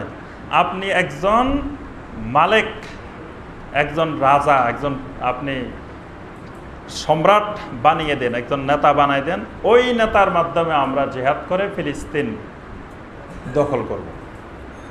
তো তখন তাদের জন্য আল্লাহ পাক একজন নেতা ঠিক করে দিলেন। ওই নেতার নাম হলো তলুত তলুত তলুত তলুত রাহেমাহুল্লাহ। তাকে আল্লাপাক নেতা বানাইলেন। এই তলুতের নেতৃত্বে পরে জেহাদ হলো ফিলিস্তিনে। আর ওই দিকের নেতা ছিল ফিলিস্তিনের নেতা জালুত। জালুত থেকে জালিয়াতি। এখন আমরা বলি না জালিয়াতি এই জালিয়াতি কিন্তু ওই জালুত আজ থেকে তিন হাজার বছর আগে। মুসা আলাই, ঈসা আলাইসাল্লামেরও এক হাজার বছর আগে এই ফিলিস্তিন শাসন করতো জালুত। বড় অত্যাচারে জালেম নেতা ছিল জালুত। এই জন্য ওই তিন হাজার বছর ধরে দেখেন প্রসিদ্ধ জালিয়াতি জালুত থেকে। তো জালুতের বিরুদ্ধে নেতা হলো তলুত। মুসলিমদের নেতা তলুত মুর্শিকদের নেতা জালুত। তো ওই যখন যুদ্ধের ময়দানে গেলেন, সেই যুদ্ধে দাউদ আলহিসাল্লাম অংশগ্রহণ করছেন দাউদ আলাহিসাল্লাম তখন অল্প বয়সী যুবক। দাউদ আলহিসাল্লাম ওই জালুদকে হত্যা করছে। জালুদকে হত্যাকারী হলেন যুদ্ধের ময়দানে দাউদ আলহিসাল্লাম তখন সবাই দাউদ আলাইসাল্লামকে চিনে গেছে, ওই ওই যুদ্ধের ময়দানে। তখন সবাই বলল যে, এই এই নবী, এই উনিই আমাদের নেতা হওয়ার যোগ্য। দাউদ আলহিসাল্লাম পরে দাউদ আলাইসাল্লামকে আল্লাপাক নবুয়ত দিলেন। দাউদ আলাইসাল্লাম তখন তাদের নেতৃত্ব দিলেন। আল্লাপাক সেই কথাটি এখানে বর্ণনা করতেছেন, আলম তারা ইলাল মালা ইবিম্বানি ইসরাইল মিম্বাদ মুসা? আপনার কাছে কি বানি ইসরায়েলের ওই নেতাদের ঘটনা পৌঁছেছে? যেই নেতারা ছিল মিম্বাদে মুসা মুসা আলাইসাল্লামের পরে।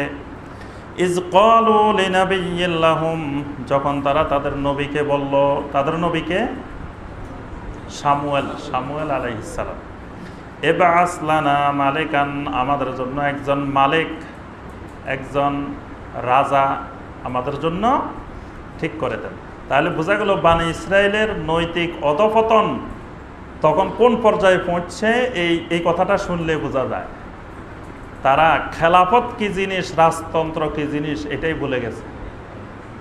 তারা রাজা বানানোর জন্য বলতেছে এখানে। খেলাফতের কথা বলতেছে না। তাহলে বোঝা যায় মুসা আলাহ পরে তারা আল্লাহর দিন থেকে কত দূরে সরে গেছে।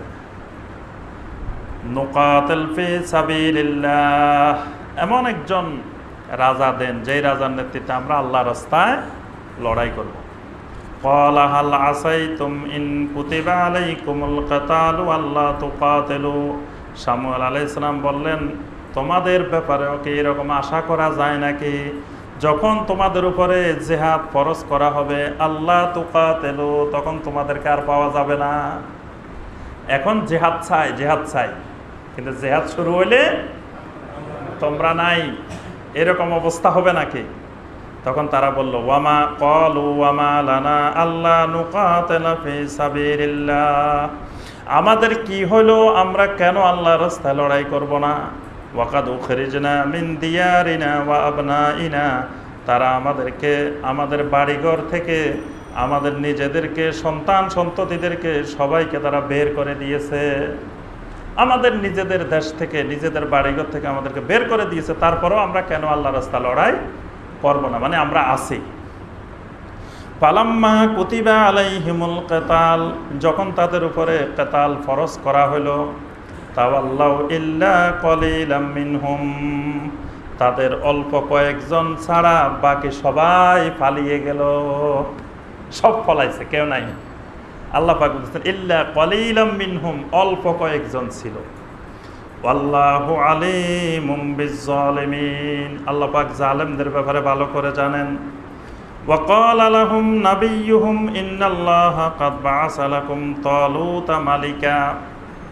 তাদের নবী তাদেরকে বললেন, আল্লাহ পাক তোমাদের জন্য তলুতকে তোমাদের নেতা বানাইছেন, তলুত।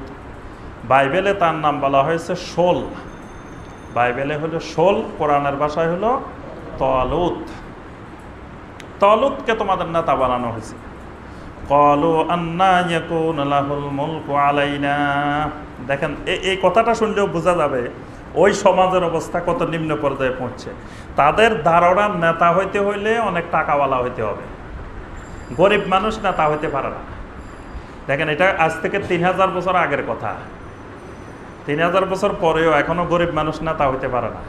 নেতা হইতে হইলে টাকাওয়ালা লাগে। তো তখন তালুত রাহিমাহুল্লাহ যাকে নেতা বানাইছেন আল্লাহ পাক, তিনি গরিব মানুষ। এখন এরা আসি বলতেছে, আন্না ইয়াকুনুল মুলকু আলাইনা। তিনি কেমন করে আমাদের নেতা হইতে পারেন? ওয়ানাহানু আহাক্কু মিল, বিল মুলকে মিনহু। আমরা তো তার থেকে নেতা হওয়ার আরও বেশি যোগ্য। আমরা কি তালুতের চেয়ে কম নাকি? দেখেন, ইসলামের নেতৃত্ব চাওয়া হারাম। অথচ এরা যায় নিজেরা নেতৃত্বের দাবি করতেছে যে তালুত এসে আমরা কম নাকি? আমরা নেতা না হই তালুত নেতা হবে কেন? ওয়ালাম মিনাল মাল, কারণ তলুতকে তো প্রশস্ত মাল দেওয়া হয় নাই, সম্পদ দেওয়া হয় নাই। তলুতের তো অনেক সম্পদ নাই, টাকা পয়সা নাই, তো নেতা হইব কেমনে? কারণ নেতা হইতে গেলে তো টাকা খরচ করতে হবে না। তো টাকা কোথা থেকে খরচ করবে তালুত? তখন আল্লাহ পাক বলতেছেন আলাইকুম। তখন নবী বললেন, শোনো আল্লাহ পাক তোমাদের উপরে তাকে নেতা হিসাবে মনোনীত করেছেন। এই মনোনয়ন তো আমি দিই নাই। এই মনোনয়ন হয়েছে কোথা থেকে? আর সে আজিম থেকে। আল্লাহ পাক মনোনয়ন দিছেন তালুদকে আমি মনোনয়ন করলে তো হয়তো দিতাম না, কিন্তু আল্লাহর পক্ষ থেকে মনোনীত। তবে তার মধ্যে মালের যোগ্যতা নাই, সম্পদের যোগ্যতা নাই, কিন্তু আরেক দুটা যোগ্যতা আছে।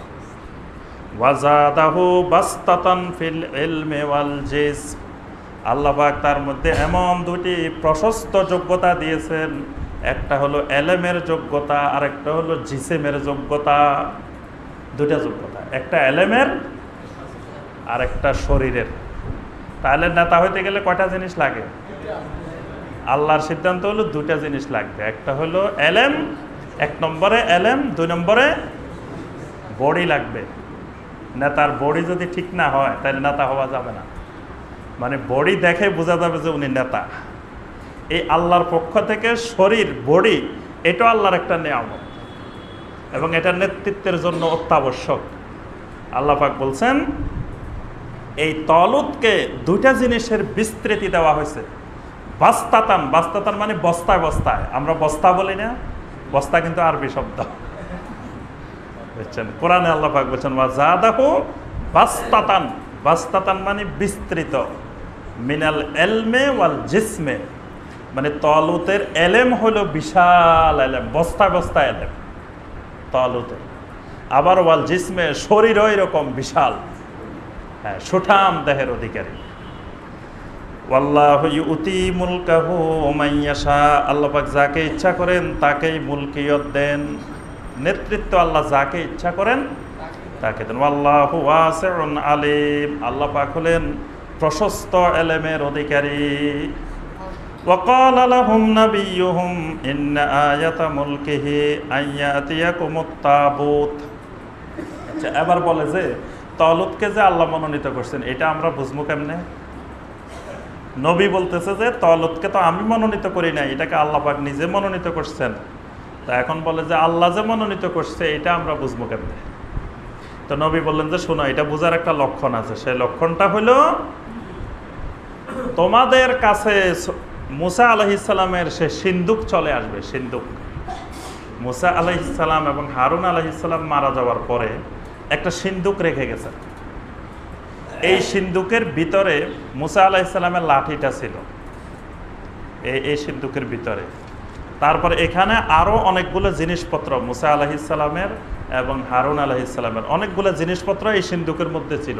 তাওরাতের মূল পাণ্ডুলিপি যেটা, সেটাও এই সিন্দুকের মধ্যে ছিল। এক সময় মানে ইসরায়েলের সাথে ওই মুশিকদের যুদ্ধে এই সিন্দুকটা তারা চিন্তা করে নিয়ে গেছে। মুশিকেরা নিয়ে গেছে। মানে বানি ইসরায়েল যেদিন সিন্ধুক হারাইছে, সেদিন নেতৃত্ব হারাইছে। এই সিন্ধুকটা তাদের নেতৃত্বের একটা মানে আল্লাহর পক্ষ থেকে নেতৃত্বের আলামত ছিল। এটা হারাই গেছে মানে ইসরায়েলের নেতৃত্ব শেষ। এখন যারা নিয়ে গেছে, এই সিন্দুকটা যেই গোত্রে নিয়ে যায়, সেই গোত্রে মহামারী শুরু হয়। যেই গোত্রে নিয়ে রাখব, ওই গোত্রে ডায়রিয়া শুরু হয়ে যায়। আরেক গোত্রে লইজে রেখছে, সেই গোত্রে এবার আরেক রোগ শুরু হয়েছে। এইভাবে অনেক গোত্রে ঘুরে ঘুরে সিন্ধুক এটা নিয়ে গেছে। কিন্তু কেউ এক সপ্তাহ রাখি সবাই বলে, ভাই, নিয়ে যাও, আর পারতেছি না। এইটা দূর করো আমাদের থেকে। এই সিন্ধুকেটা এইভাবে ঘুরতে ঘুরতে লাস্টে এসে বলল যে, সিন্ধুকেটা আর রাখা যাবে না, এটাকে গরুর গাড়ির মধ্যে তুলে পরিচালক ছাড়া মানে ড্রাইভার ছাড়া এটাকে ছেড়ে দিতে হবে। গরু যেদিকে নিয়ে যায় সেদিকে যাবে এই সিন্ধুক। আমরা আর এই সিন্ধুক ধরবো না, কারণ এটা দল্লি বিপদ। পরে আল্লাহ পাক ফেরাস তাদেরকে পাঠাইলেন যে, আমার নবীর সিন্ধুক আবার বনে ইসরায়েলের দিকে নিয়ে যাও। তাই তখন এই নবী সামুয়াল আলাইসালাম বলে, শোনো, তালুক তোমাদের নেতা, এটার চিহ্ন হলো, আলামত হলো, তোমরা তোমাদের সে হারানো সিন্ধুক পেয়ে যাবে এই হারানো সিন্ধুক পাইলে বুঝবা যে আল্লাহ পাক তালুককে তোমাদের নেতা বানাইছে। আইয়া তিয়া কুমতাবুত তোমাদের কাছে সেই সিন্ধুক চলে আসবে। ফিহি সাকিনাতুম মির রাব্বিকুম, ওই সিন্ধুকের মধ্যে আছে তোমাদের রবের পক্ষ থেকে সাকিনা, প্রশান্তি। ওয়া বাকিয়াতুম মিম্মা তারাকা আলু মুসা আলু হারুন। এবং মুসার বংশধর, হারুনের বংশধর যা কিছু রেখে গেছে, সেগুলো ওই সিন্ধুকের মধ্যে আছে। তাহমিলুহুল মালাইকা, এটা ফেরেশতারা বহন করে বেড়াইতেছে। এই এই সিন্ধুক এখন ফেরেশতাদের কাছে আছে। সুতরাং ফেরেশতারা এই সিন্ধুক তোমাদের কাছে নিয়ে আসবে। ইন্নাফি দালিকা লাআয়াতাল লাকুম ইন কুনতুম মুমিনিন। এর মধ্যে তোমাদের জন্য নিদর্শন আছে, যদি তোমরা মুমিন হও। মুমিন হলে তোমরা বুঝতে পারবা যে এখানে আল্লাপাক তোমাদের জন্য অসংখ্য নিদর্শন রেখেছেন। পালাম্মা ফাসালা তলুত বিল জুনুদ, যখন তলুত সৈন্য সামন্ত নিয়ে রওনা দিলেন কলা ইন্নাল্লাহ মুবতালি কুম্বিনাহার আগেই তো বিশাল একটা অংশ নাই। তো অল্প সংখ্যক যারা ছিলেন, এরা তলুত রহমতুল্লাহ আলাই তার সাথে যাচ্ছিলেন। যাওয়ার সময় রাস্তায় একটা নদী ঘটছে, বড় একটা নদী। তো তলুত বললেন যে, শোনো, এই নদী পার হওয়ার সময় খবরদার কেউ পানি পান করতে পারবা না। নদীতে যাওয়ার সময় পানি পান করতে তবে বেশি পিপাসা লাগলে একটু হাত দিয়ে লই, সামান্য একটু খাইতে পারবে, কিন্তু বেশি নেওয়া যাবে না। এখন দেখা গেল অনেক মানুষে খেয়ে বসে রয়েছে। মানে বলে ইসরায়েলের কাজটাই ছিল এরকম। বললেন, ইন্নাল্লাহ মুক্তালি কুম্বিনাহার আল্লাহ তোমাদেরকে একটি নদীর মাধ্যমে পরীক্ষা করবেন। পামান সারে বা মিনহু ফালাই সামিন্নি যেই লোক এই নদী থেকে পানি পান করবে, সে আমার উম্মতর অন্তর্ভুক্ত নয়। ওয়ামাল্লাম ইয়াতামহু ফাইন্নাহু মিন্নি। যে পানি পান করবে না, কিছু খাবে না, সেই আমার উম্মত, আমার দলভুক্ত। ইল্লা মানিক তারাফা গোরফাতাম বিয়াদিহি। তবে যদি বেশি পিপাসা লাগে, তাহলে সামান্য একটু নিয়ে হাত দিয়ে খেতে পারবা। এটার পারমিশন দেওয়া হয়েছে। মিনহু ইল্লা মিনহুম। তাদের অল্প কয়েকজন ছাড়া বাকি সবাই পরিতৃপ্তি সহকারে পানি পান করে নিল। একেবারে কয়েক অল্প যখন কইছে, তো অল্প খামোজন বেশি করে খাই এই জন্য দেখবেন যে অনেকে হারাম জিনিস যখন একটু খাবার পারমিশন পায়, তখন মনে করে যে জীবনে একবার পারমিশন পাইছি, বেশি করে খাইলে। আল্লাহাক বলছেন এই জন্য পামানি তোররা গাইরা বাগিন ওয়ালা আদিন। এটাকে বলা হয় বাঘি সীমা লঙ্ঘনকারী তো এদেরকে তালুদ বললেন যে, সামান্য যদি বেশি পিপাসা লাগে, সামান্য একটু খেয়ে নিও। তো এরা একবারে ভালো করে খেয়ে নিছে। ফালাম্মা জাওয়াজাহু হুয়া ওয়াল্লাদিন আমানু মাহু এরপরে যখন নদী অতিক্রম করে, তিনি আর ইমানদাররা ওই দিকে গেলেন। قالوا لا طاقة لنا اليوم بجالوت وجنوده জালুত ওই দিক থেকে খবর পেয়েছে যে তলুত বিশাল বাহিনী নিয়ে আসতেছে তখন জালুতও বিশাল এক বাহিনী নিয়ে প্রস্তুত এবার এই যে প্রথম তো এক গ্রুপ এখানে রয়ে গেছে এরপরে অল্প কয়েকজন গেল নদী পার হওয়ার পরে বলতেছে না এই বিশাল বাহিনীর সাথে যুদ্ধ করা জেহাদ করা এটা আমাদের পক্ষে সম্ভব আজকে আমাদের ওই পরিমাণ কোনো শক্তি সামর্থ্য নাই। বি জালুত বা জুনুদেহি, জালুত এবং তার সৈন্যদের সাথে যুদ্ধ করার মতো।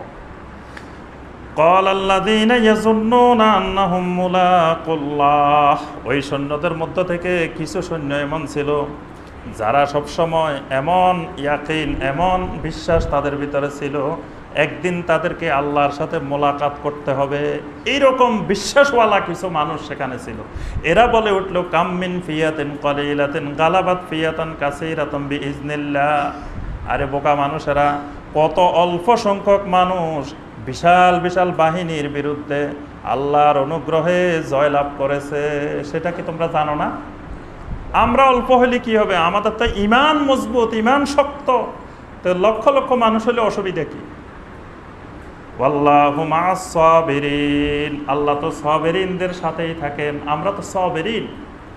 ওয়ালাম্মা বারাজুলি জালুত ওয়া জুনুদিহি, যখন জালুত এবং তার সৈন্যদের সাথে যুদ্ধ আরম্ভ হয়ে গেল কলু রব্বানা আফ্রিকা আলাইনা সবরা, তখন তারা আল্লাহর কাছে দোয়া করল, রব্বুল আলামিন, আফ্রিকা আলাইনা সবরা, আমাদেরকে সবর ধরার তৌফিক দাও।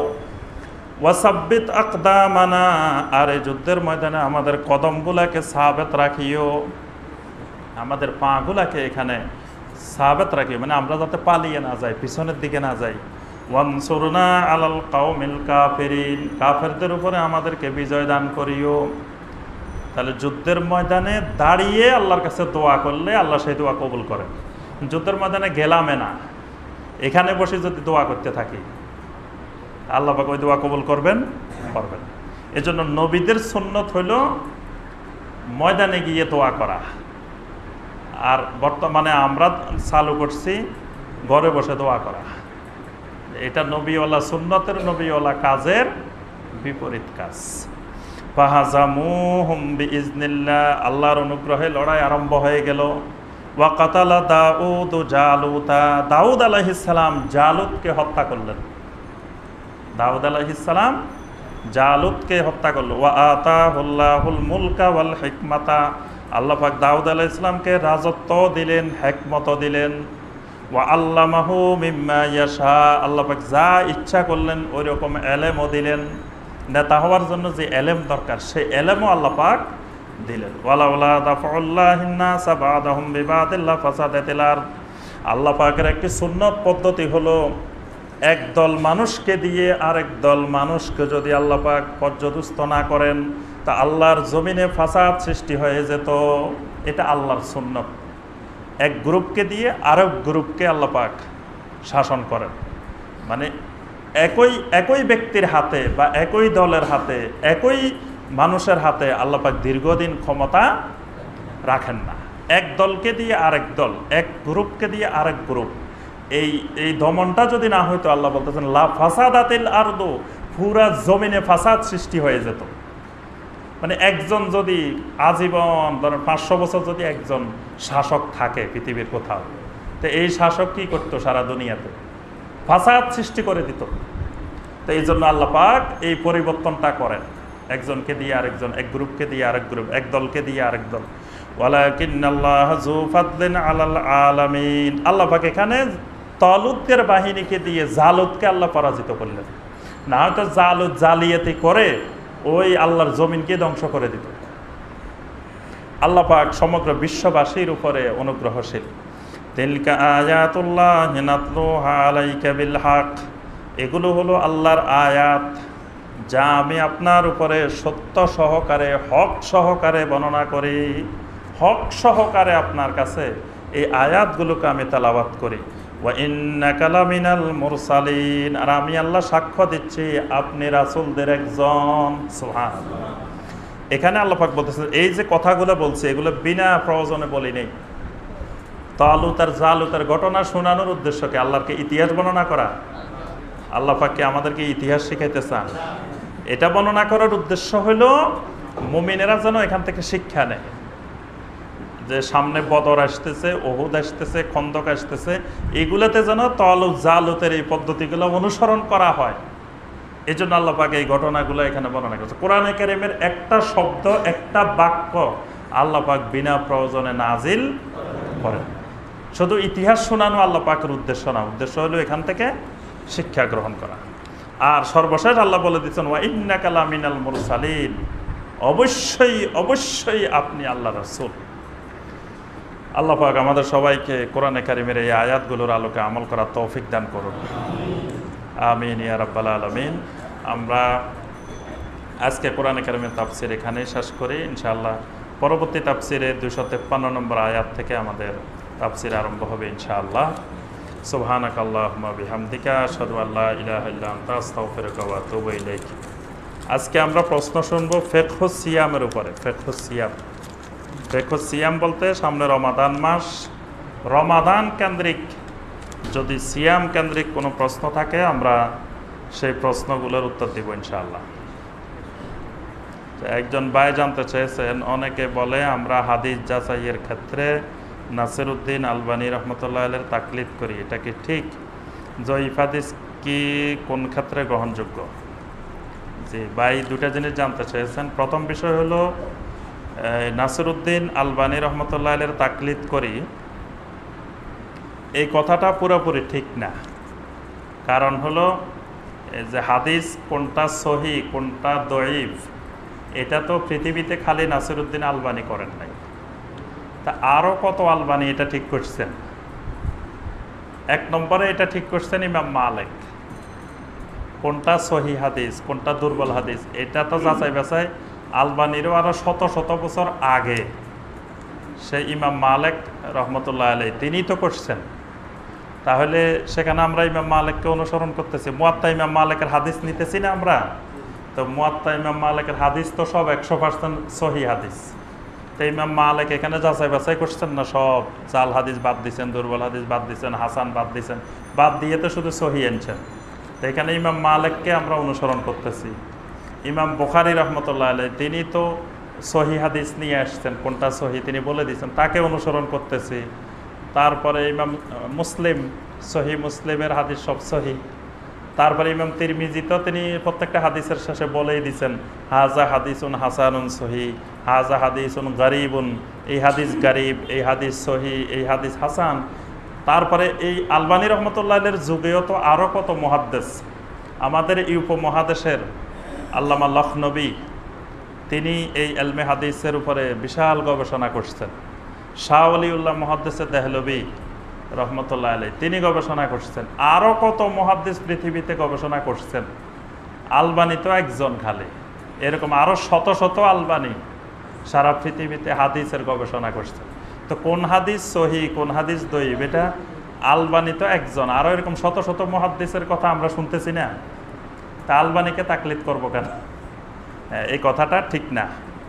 তারপরে দইফ হাদিস কি? কোন ক্ষেত্রে গ্রহণযোগ্য? দইফ হাদিস শুধুমাত্র একটি ক্ষেত্রে গ্রহণযোগ্য।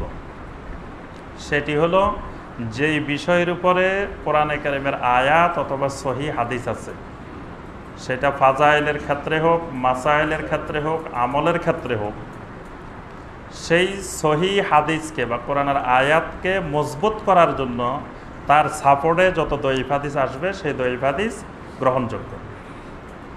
যেমন নবী সাল্লাম বলছেন যে, সলাতুন ফি মসজিদি হাজা খাইরুমিন আলফে সলাত মিম্মা সাওয়াহু ইল্লাল মসজিদুল হারাম। নবী সাল্লাম বলছেন, আমার এই মসজিদে সলাত অন্য অন্য মসজিদের সলাতের চেয়ে এক হাজার গুণ বেশি উত্তম ইল্লাল মসজিদ আল হারাম। শুধু মসজিদে হারাম, ব্যতীত। তো এখানে এটা সহি হাদিস।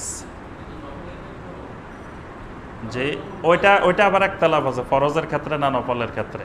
কিন্তু এখানে নবী সালাম এটা নির্দিষ্ট করেন নাই। বলছেন তো সকল সালাদ থেকে, অন্য মসজিদের সলাতের থেকে এখানে এক হাজার গুণ বেশি উত্তম। এই হাদিসটা সহি। আরেকটা হাদিস আছে, নবী সালাম বলছেন যে মসজিদে নবীর সলাদ পঞ্চাশ হাজার গুণ বেশি উত্তম। তা এখন ওই ওই হাদিসটা দৈব দুর্বল হাদিস। এখন মসজিদে নবীর সলাদ যে বেশি ফজিলত, এটা তো সহি হাদিস দ্বারা প্রমাণিত। এক হাজার গুণ আমরা প্রমাণিত পাইলাম না? এটা তো সহি হাদিসের মাধ্যমেই পাইছি। তাহলে এটা এস্টাবলিশ হয়েছে যে মসজিদ নবীর সলাদ, পৃথিবীর অন্য মসজিদের সলাদ এক না, এটার ফজিলত বেশি। এখন বেশির ক্ষেত্রে এক হাজার পাইলাম, সহি হাদিসে পঞ্চাশ হাজার পাইলাম দইফ হাদিসে। এখন আমরা কি করব? এই দইফ হাদিস আমরা গ্রহণ করব। গ্রহণ করে বলব যে এক হাজার তো নিশ্চিত, তবে আমরা আল্লাহর কাছে আশা করব আল্লাহ যেন পঞ্চাশ হাজার দেন। কারণ আল্লাহর কাছে অভাব নাই। আল্লাহ পাক পঞ্চাশ হাজার দিলে কি আল্লাহর কাছে কমে যাবে? তা আল্লাহ পঞ্চাশ হাজার দিক, এটা আমরা মনে মনে আশা করব। কিন্তু ওই হাদিস দইফ হওয়ার কারণে আমরা নিশ্চিত করে বলব না যে এখানে পঞ্চাশ হাজার রাখাত এখানে এক হাজারটা সহি। এখানে এক হাজারের সহি হাদিস থাকার কারণে ওই পঞ্চাশ হাজারের দইফটারে আমরা এখানে গ্রহণ করতেছি। এই জাতীয় ক্ষেত্রে শুধু দইফ হাদিস গ্রহণ করা হয় অন্য কোনো ক্ষেত্রে আমলের ক্ষেত্রে। সেটা নফল এবাদত দইফ হাদিস দিয়ে গ্রহণযোগ্য না কারণ নফল এবাদত গায়েবের বিষয়। ফাজাইল তো গায়েবের বিষয়। এটা করলে এক লক্ষ গুণ সোয়াব হবে এটা করলে দশ হাজার গুণ সোয়াব হবে। তো এটা আমি জানব কীভাবে? এটা গায়েবের বিষয় না? আর গায়েবের বিষয় জানার মাধ্যম শুধুমাত্র কোরআন এবং সহি হাদিস। আচ্ছা, এটা তো অনেক লম্বা কথাবার্তা। এটাতে বোঝাতে চেয়েছেন যেটা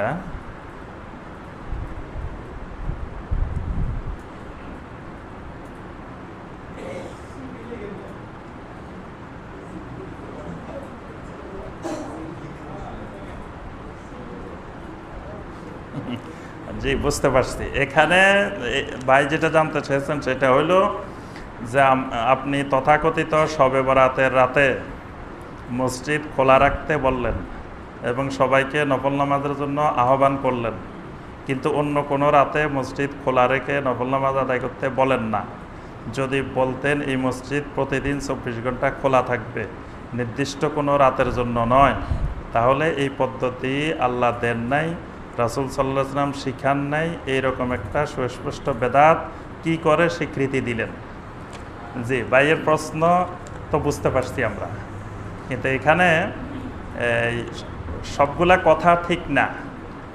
ভাই বলছেন যে, আমরা মসজিদ খোলা রাখতে বলছি, সবাইকে নফল নামাজের আহ্বান করছি। আহ্বান করছি কথাটা ঠিক না। নফল নামাজের আহ্বান করি নেই। বলছি যে, সারা রাত মসজিদ খোলা থাকবে। যারা ইচ্ছা করেন, এখানেও আবাদত বন্দিকে করতে পারবেন? জি? বাসা যাইও করতে পারবেন।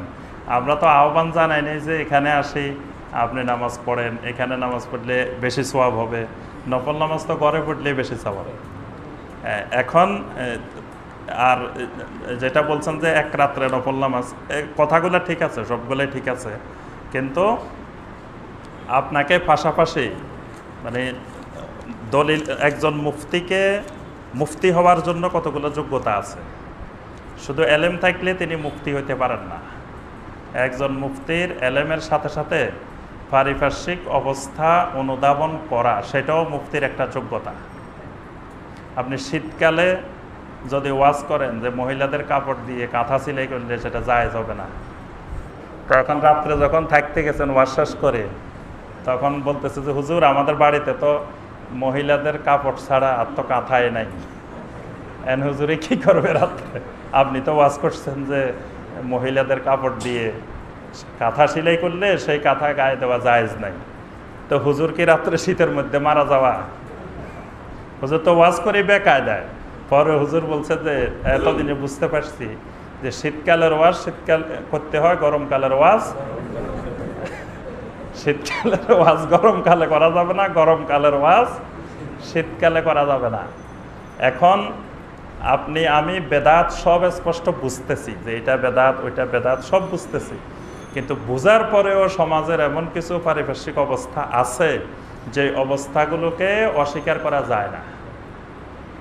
নবী সাল্লাম মদিনায় গিয়ে একদিনে সব নিষিদ্ধ করে দেন নাই। আস্তে আস্তে পর্যায়ক্রমে নিষিদ্ধ হয়েছে। আর এটা যখন মানে আপনি যখন সহি আকিদা বুঝবেন, দিন বুঝবেন, আপনারে আমি শুক্রবারে ওই রাত্রে যদি বলিও নামাজ পড়ার জন্য আপনি পড়বেন না, চলে যাবেন। এই জন্য দেখেন আমরা মসজিদে সম্মিলিত মোনাজাত করি। অধিকাংশ ভাই কিন্তু মোনাজাত করে না। তারা বুঝতেছেন যে এটা করা বেদাত। আমিও বুঝতেছি বেদাত। আমি করতেছি, কিন্তু অন্যরা করতেছে না। তো যখন সবাই বুঝবেন, দিন বুঝবেন আচ্ছা এই মোনাজাত বন্ধ করে দিলাম। বন্ধ করে দেওয়ার পরে ওই, এটা যে বেদাত, এই কথাটাও তো বলার সুযোগ পাওয়া যাবে না। আপনি যে এটা বেদাত, সেটা শিখবেন কোথা থেকে? সেটাও তো শিখতে পারবেন না। এজন্য মানে মুফতির মুফতি হওয়ার জন্য পারিপার্শ্বিক অবস্থা বুঝতে হয় মুফতিকে। ভারতের একটা প্রদেশ আছে যে কেরালাতে। মহিলাদের শাড়ি পরা হারাম। ওখানকার মুক্তিরা ফতোয়া দিয়েছেন যে ওখানে শাড়ি পরা হারাম মুসলিম মহিলাদের জন্য। আমরা বাংলাদেশে কি এই ফতোয়া প্রযোজ্য হবে? কেন প্রযোজ্য হবে না? সেখানে মানে হিন্দুদের পোশাক হইল শাড়ি, মুসলিম মহিলাদের পোশাক হইল সালোয়ার কামিজ। সেখানে শাড়ি বললে বোঝা যায় এটা হিন্দু আর সালোয়ার কামিজ পরলে এটা মুসলমান। তো সেখানে এই দুইটা দিয়ে আইডেন্টিটি নির্ধারণ করা হয়। কিন্তু বাংলাদেশে শাড়ি আর জামা দিয়ে মহিলাদেরকে নির্ধারণ করা হয় না। তাহলে জায়গা ভেদে, অবস্থা ভেদে সব মাসালারও এরকম পরিবর্তন হয়, ফতোয়ারও পরিবর্তন হয়।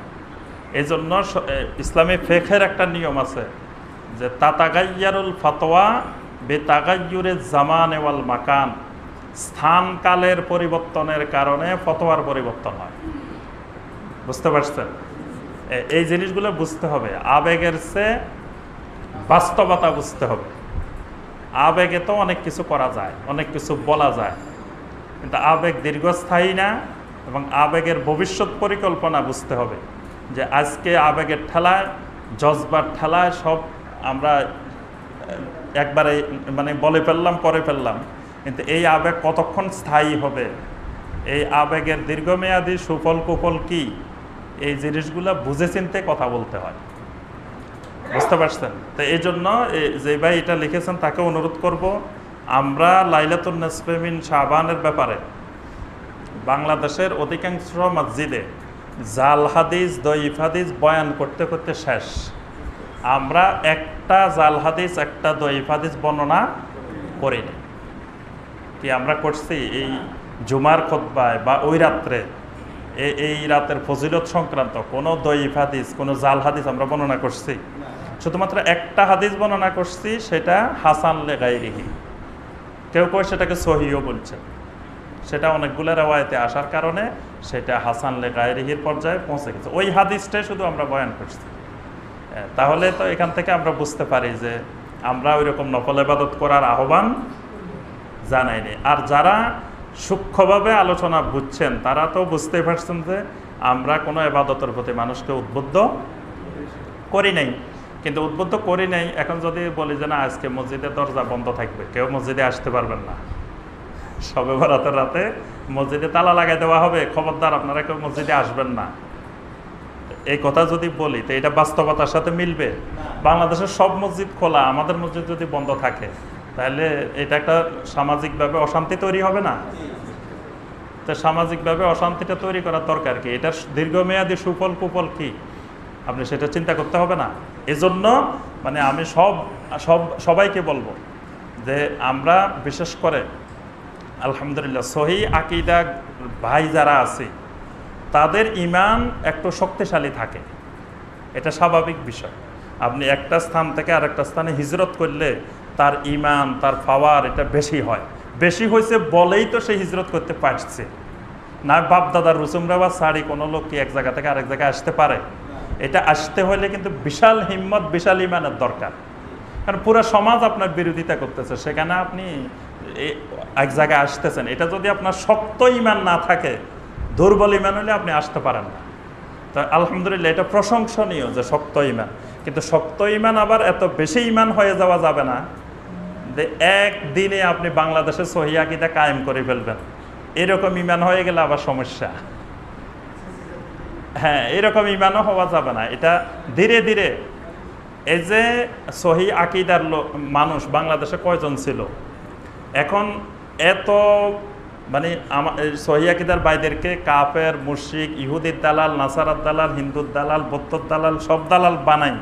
এত কিছু করার পরেও দিন দিন সহিয়াকিদার ভাই বোন কমতেছে না, বাড়তেছে। আজকে আমি আশ্চর্য লাগছে, এক জায়গায় জুমার নামাজের পরে বিয়ে পড়াইতে গেলাম। তো যাওয়ার পরে রাস্তা এক যে ভাই আমাকে নিতে আসছেন মসজিদে, তার বাসায় নিয়ে যাবেন। তো ওই ভাই বলতেছেন যে যে, হুজুর, আমি একটা মাসালা জিজ্ঞেস করতাম, আপনাকে তো কোনোদিন পাই না মানুষের ভিড়ে।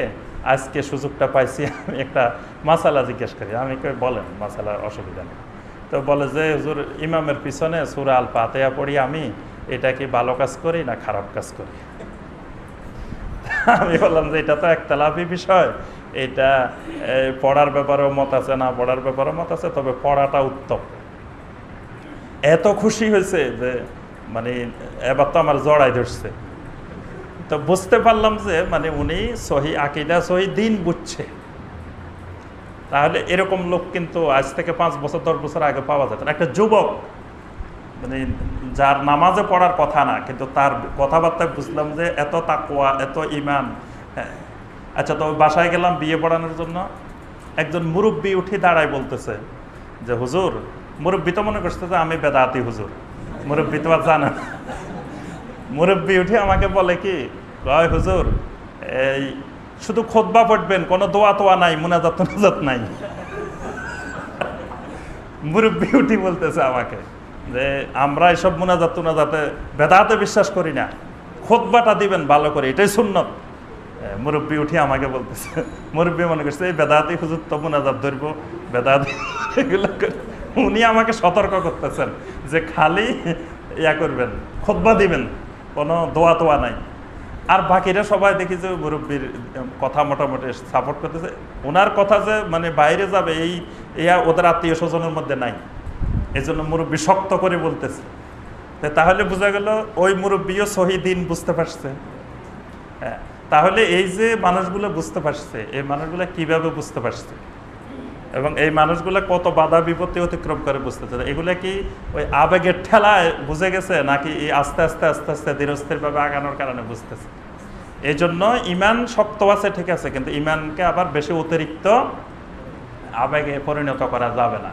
এটা খুব ধীরস্থিরভাবে আস্তে আস্তে। আরেকটা হলো মানে আপনাকে অনেক সময়, ওই এই কথাটা আমরা তাপসিরে বারবার বলছি যে মানে আসাবে কাপের লোকেরা যখন রওনা দিচ্ছেন গুহার দিকে কিছু দূর যাওয়ার পরে কুকুরে ধরছে না?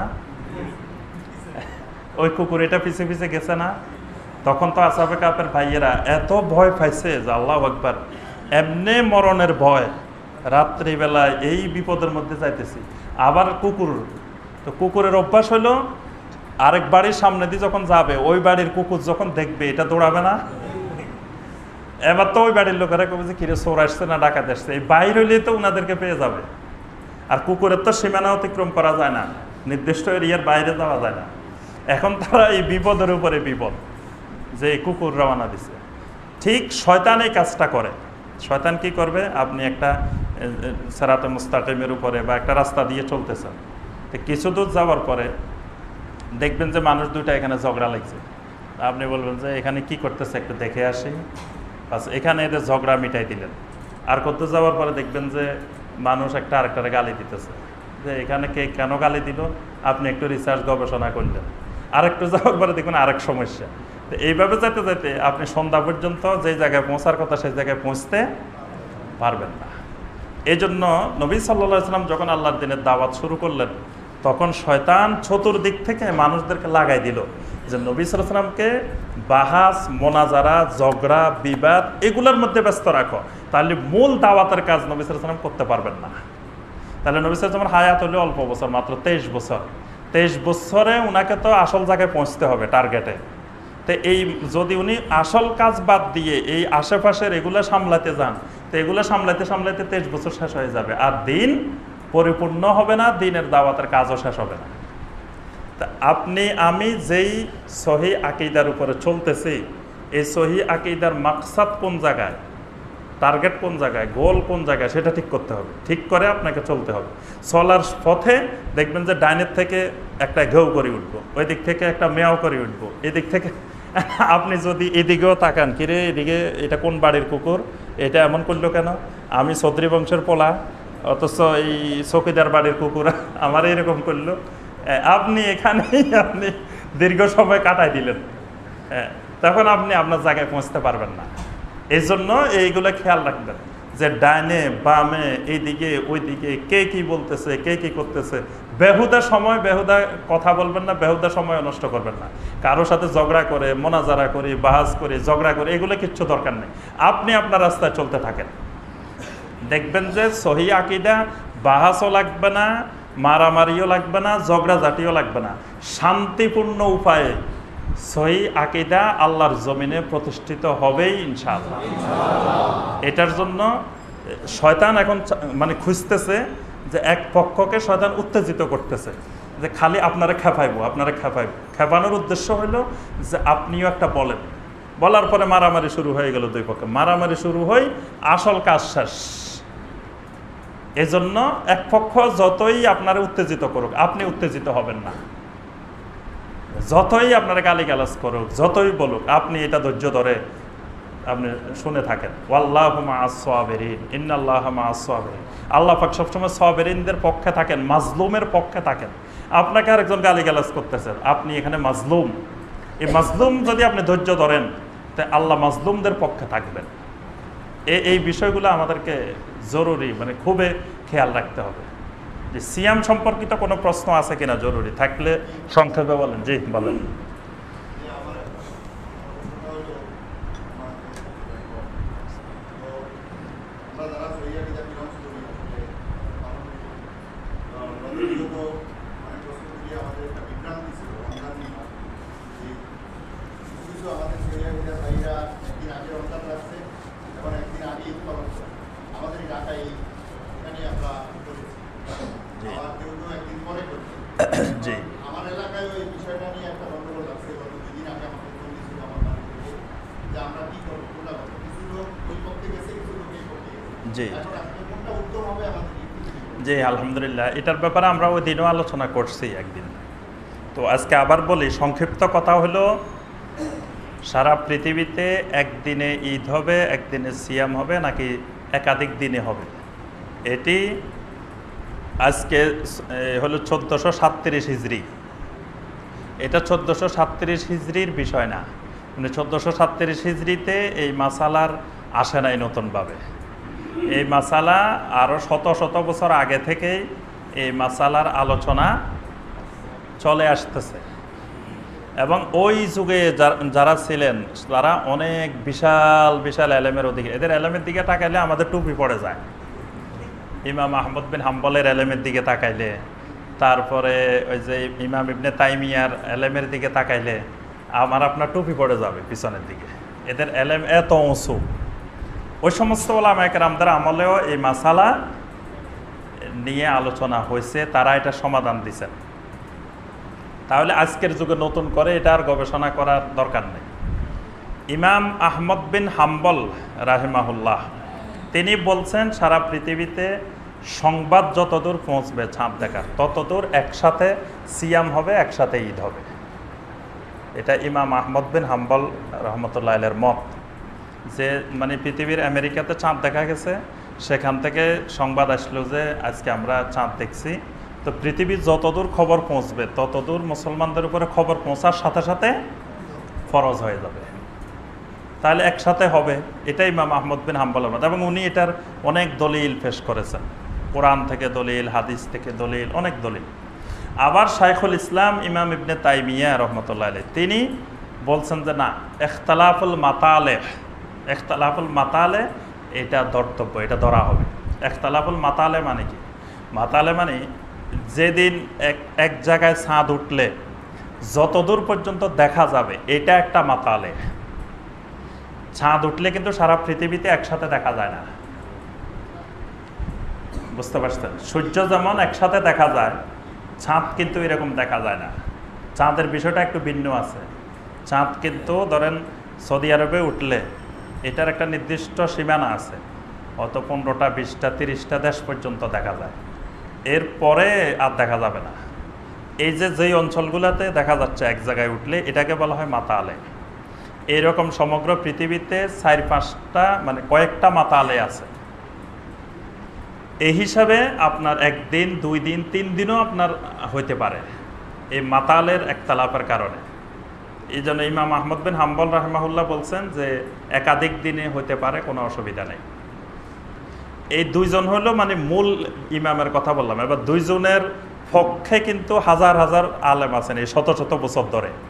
মানে আহমদ বিন হাম্বলের যে মত দিছেন, সেই মতেও হাজার হাজার আলেম। আমরা তো আলেম না, আমরা হইলাম তলেবুল আলেম।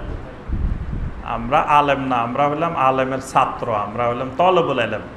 তো যারা আলেম ছিলেন, তারা এরকম হাজার হাজার ছিলেন ইমাম আহমদের মতের অনুসারী। আবার হাজার হাজার ছিলেন শাইখুল ইসলাম, ইমাম ইবনে তাইমিয়ার অনুসারী। তাহলে তারা দুইটার পক্ষে বিপক্ষে বলে গেছেন। এখন আমরা কোনটা এখানে অনুসরণ করব। আহমদ বিন হাম্বলেরটা না শাইখুল ইসলাম ইবনে তাইমিয়ারটা? তো এখানে আমরা বলছি যে, যদি মানে প্রশাসনের পক্ষ থেকে রাষ্ট্রীয়ভাবে যেটা গ্রহণ করবে, সেটাই আমরা অনুসরণ করব। রাষ্ট্র যদি আহমদ বিন হাম্বলেরটা অ্যাকসেপ্ট করে, আমরা ওইটাই অনুসরণ করব। আর রাষ্ট্র যদি ইবনে তাইমিয়ারটা অনুসরণ করে, আমরা সেটাই অনুসরণ করব যেমন ধরেন ইন্দোনেশিয়া, মালয়েশিয়া, এরা কিন্তু আমাদের আরও পূর্বের দেশ কিন্তু তারা অনুসরণ করে আহমদ বিন হাম্বলের মত সৌদি আরবে যেদিন ঈদ হয়, দেখবেন যে ইন্দোনেশিয়া, মালয়েশিয়াও ঈদ হয় অথচ তারা, তাদের আগেই তো আমরা চাঁদ দেখার কথা। তারা কিন্তু চাঁদ দেখে না। তারা সৌদি আরব ঘোষণা দিলে, ওখানকার রাষ্ট্রীয়ভাবে তারা ঘোষণা দিয়ে দেয়। তারা ওইটা সিদ্ধান্তই আছে যে আমরা দেখা লাগবে না। সৌদি আরব ঘোষণা দিলে, আরব দেশে ঘোষণা দিলে আমরা একসাথে ঘোষণা দিয়ে ফেলব। এটা তাদের রাষ্ট্রীয় সিদ্ধান্ত। বাস, তারা এই মত অনুসরণ করতেছে, কোনো অসুবিধা নেই। আমাদের বাংলাদেশের সিদ্ধান্ত হলো যে আমরা ওইরকম ঘোষণা দিব না। যতক্ষণ পর্যন্ত আমাদের উপমহাদেশে ভারত, পাকিস্তান, বাংলাদেশ এসব দেশে চাঁদ দেখা না যাবে, ততক্ষণ পর্যন্ত আমরা ঘোষণা দিব না। অর্থাৎ আমাদেরটা হলো সাইকুল ইসলাম, ইমাম ইবনে তাইমিয়ার মত। এটা রাষ্ট্রীয়ভাবে গ্রহণযোগ্য। তা রাষ্ট্রীয়ভাবে যেটা গ্রহণযোগ্য মানে দুইটাই যেহেতু সরিয়া সম্মত এবং দুইটাই সহি যে একটা মানলেই তো হবে। তাহলে যেটা মানে রাষ্ট্রীয়ভাবে স্বীকৃতি দিবে, সেটাই আমরা মেনে নিব। এই মতটাই আমাদের কাছে অগ্রাধিকার যোগ্য যে বাংলাদেশে রাষ্ট্রীয়ভাবে যেদিন শুরু হবে, আমরা সেদিন সিয়াম শুরু করব, যেদিন ঈদ হবে, সেদিন ঈদ শুরু করব। এটাই হলো এই দুইটা মতের মধ্যে। আবার যদি সরকার মনে করে যে না, আমরা সৌদি আরব যেদিন করতেছে আমরাও সেদিন শুরু করে দিব, সেটাও সই কারণ একাধিক দিনে করলে সরকার যদি এক, একমতে করে, আমরা যদি আরেক মতে করি, তাহলে এটা একটা বিশৃঙ্খলা তৈরি হয়। আর এখানে আবার আরেকটা প্রশ্ন আছে। অনেকবার প্রশ্ন করছেন যে যে মানে সরকার যদি কোরআন বিরোধী কাজ করে, তাহলে আমরাও কি কোরআন সুন্না বিরোধী কাজ করব নাকি? তাহলে সবাই তো রাফুল ইয়েদেন করতেছে না। তাই বলে আমরা কি রাফুল ইয়েদেন ছেড়ে দিব? যে এটা বিশৃঙ্খলা তৈরি হবে, এই আশঙ্কায় ছেড়ে দিব? এই প্রশ্নের জবাব হলো, ওই সুন্নার আমল আর এই সিয়াম তারপরে ঈদ, এটার আমল, দুইটা দুই জিনিস। মানে সিয়াম আর এই ঈদ, এগুলো হলো এজতেমাই এবাদত, সামাজিক এবাদত। শুধু ব্যক্তিগত এবাদত না, কিন্তু সলাৎ, এটা ওইরকম সামাজিক এবাদত না। মানে সামাজিক আবাদত বলতে এটা রাষ্ট্রের ইমাম কর্তৃক ঘোষণা করার দরকার হয় না। এটা আল্লাপাক একটা নির্ধারিত সময় নির্ধারণ করে দিয়েছেন সে সময় যখনই আসতেছে, তখন জোহর পড়তেছি, তখন আসর পড়তেছি, মাগরিব পড়তেছি। সরকার ঘোষণা দেওয়ার দরকার নাই যে এখন আসর হয়েছে এখন মাগরিব হয়েছে কিন্তু ঈদ এবং সিয়াম, এটা সরকার কর্তৃক, প্রশাসন কর্তৃক ঘোষণা লাগবে। কারণ নবিসাম বলছেন আসাউমো ইয়ামা তাসৌমো যে সিয়াম হলো সেই দিন যেদিন লোকেরা সিয়াম পালন করে। ঈদ হলো সেই দিন যেদিন লোকেরা ঈদ করে। তাহলে এখানে লোকদের সাথে সম্পর্ক আছে। লোকদের সাথে সম্পর্ক মানে সবাই যেদিন করে সেই দিনই তোমাদের ঈদ। সবাই যেদিন সিয়াম পালন করে সেই দিনই তোমাদের সিয়াম। তা তাহলে সবাই মানে কি? এখানে সরকার কর্তৃক যেদিন ঘোষণা হবে সেটাই। এই জন্য আমি মনে করি, এটা নিয়ে আমাদের বর্তমান আলেমদের মধ্যে একতালাপ আছে। কেউ কেউ ওইটাকে ভালো বলেন, কেউ কেউ এটা বলেন। আমি দুইটার মধ্যে পড়াশোনা করে দেখছি যে এই মতটাই বেশি যুক্তিযুক্ত। যে যেটা প্রশাসন কর্তৃক, রাষ্ট্র কর্তৃক ঘোষণা দিবে, আমরা সেই অনুযায়ী সিএম পালন করব। যখন রাষ্ট্র কর্তৃক ঈদের ঘোষণা দেবে, আমরা সেদিন ঈদ করব। এরা একদিন আগেও দরকার নাই, পরেও দরকার নেই। রাষ্ট্রের আনুগত্য ফরজ, কিন্তু রাষ্ট্রের আনুগত্য হলো মানে ওই ক্ষেত্রে যদি রাষ্ট্র যদি কোরআন সুন্নাহ বিরোধী করে, তখন তো আর আনুগত্য ফরজ না। যারা ওই একই দিনের কথা বলেন, তারা আবার বলেন যে, এই ক্ষেত্রে রাষ্ট্র তো কোরআন সুন্নার অনুসরণ করতেছে না। আমরা বলব যে রাষ্ট্র এটাও কোরআন সুন্নার অনুসরণ। ইবনে তাইমিয়ার যেই ইস্তেহাদ, এটা মেনে নিলে সেটাও কোরআন সুন্নার অনুসরণ। এবং ইবনে তাইমিয়ার এই পক্ষে অনেক দলিল আছে, দলিলবিহীন উনি গবেষণা করেন নাই। সুতরাং এটাও কোরআন সুন্নার পক্ষেই করতেছেন। এই ক্ষেত্রে মানে খুব প্রান্তিক সীমায় যাওয়া যাবে না। মানে খালি এটাই হক, ওইটা ভুল। এই এই রকম সিদ্ধান্তে যাওয়া যাবে না। একটাকে হক মনে করা, আরেকটাকে ভুল মনে করা এরকম করা যাবে না। আমরা মনে করি দুইটাই ঠিক তবে এইটা অধিক অগ্রাধিকার পাবে। যে সংক্ষেপে বলেন?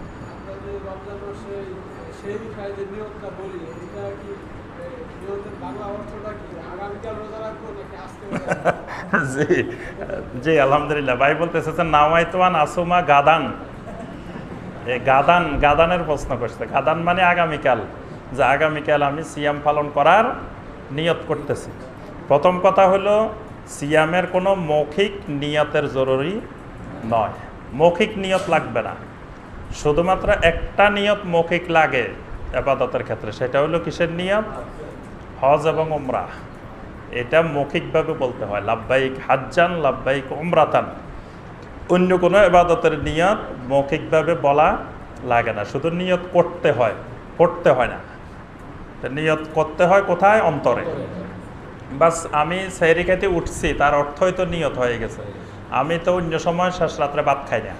রাতের তিনটায় আমরা কোনোদিন খানা খাই। তো ওই সময় খাচ্ছি কেন? উদ্দেশ্য হলো আমি কালকে সিয়াম পালন করব। এটাই তো অন্তরে এতমিনান নিয়ত হয়ে গেছে। সেখানে মৌখিকভাবে নামাইতোয়ান আসুমা গাদান নামাইতোয়ান আসুমা ইয়ৌমান কোনোটাই দরকার নেই। আজকে রাখব, কালকে রাখব। সেখানে বলা হচ্ছে আমি আগামীকাল রোজা রাখব। তো ওইটা তো আগামীকাল না ওইটা তো আজকেই। হ্যাঁ। মানে এটা মানুষের বানানো তো যিনি বানাইছে উনি এত চিন্তা করতে পারেন নাই। হ্যাঁ, আল্লাহর বানানো হইলে সেগুলো কিন্তু কোনো ধরনের খুঁত খুঁজে পাওয়া যাবে না। এবং সেগুলো ছোট্ট একটা বাক্যের মধ্যে দেখবেন যে অসংখ্য তথ্য রহস্য সেখানে লুকায়িত থাকে।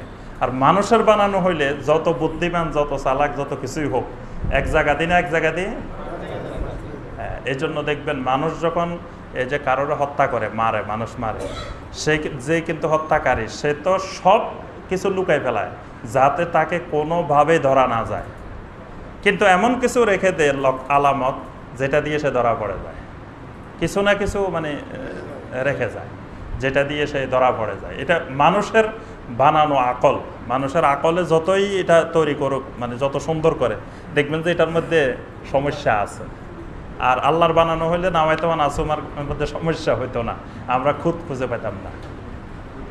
আচ্ছা বাইরে, এটা দিয়ে আজকে শেষ। আগামী তাফসিরেও আমরা ফেখো সিয়ামের উপরে আলোচনা করব। আরও সিয়াম সংক্রান্ত প্রশ্ন থাকলে ওই দিন করবেন ইনশাল্লাহ আজকে আপনি বললে শেষ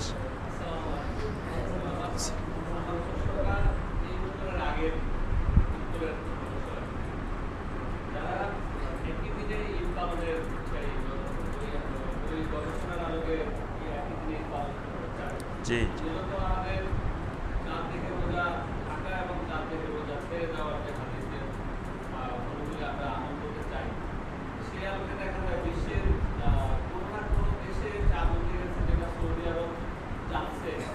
সৌদি আরবের আগে রাত্রে তাদের চাঁদ উঠেছে সৌদি আরব সেটা মানে কিনা ওইটা মেনে নিয়ে তারা চাঁদ তাদের দেশের আকাশে চাঁদ দেখার যে ঘোষণা সেই জি, জি। ঘোষণায় তারা মেনে নেয় যদি মেনে নেয় ওইটার ব্যাপারে আপনার গবেষণা থেকে কি জানা জি জি আলহামদুলিল্লাহ বাইরে এই প্রশ্নটা খুবই গুরুত্বপূর্ণ।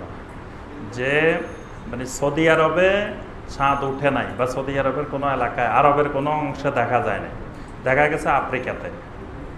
তাহলে আফ্রিকা দেখা গেলে সেটা সৌদি আরব মেনে নেয় কি না যে আজকে আফ্রিকা চাঁদ দেখা গেছে, আসুন আমরা সবাই সিয়াম শুরু করে দিই। তাহলে বোঝা যাবে যে সৌদি আরবও ওই পদ্ধতিটাই ফলো করে যে সারা বিশ্বের একদিনের।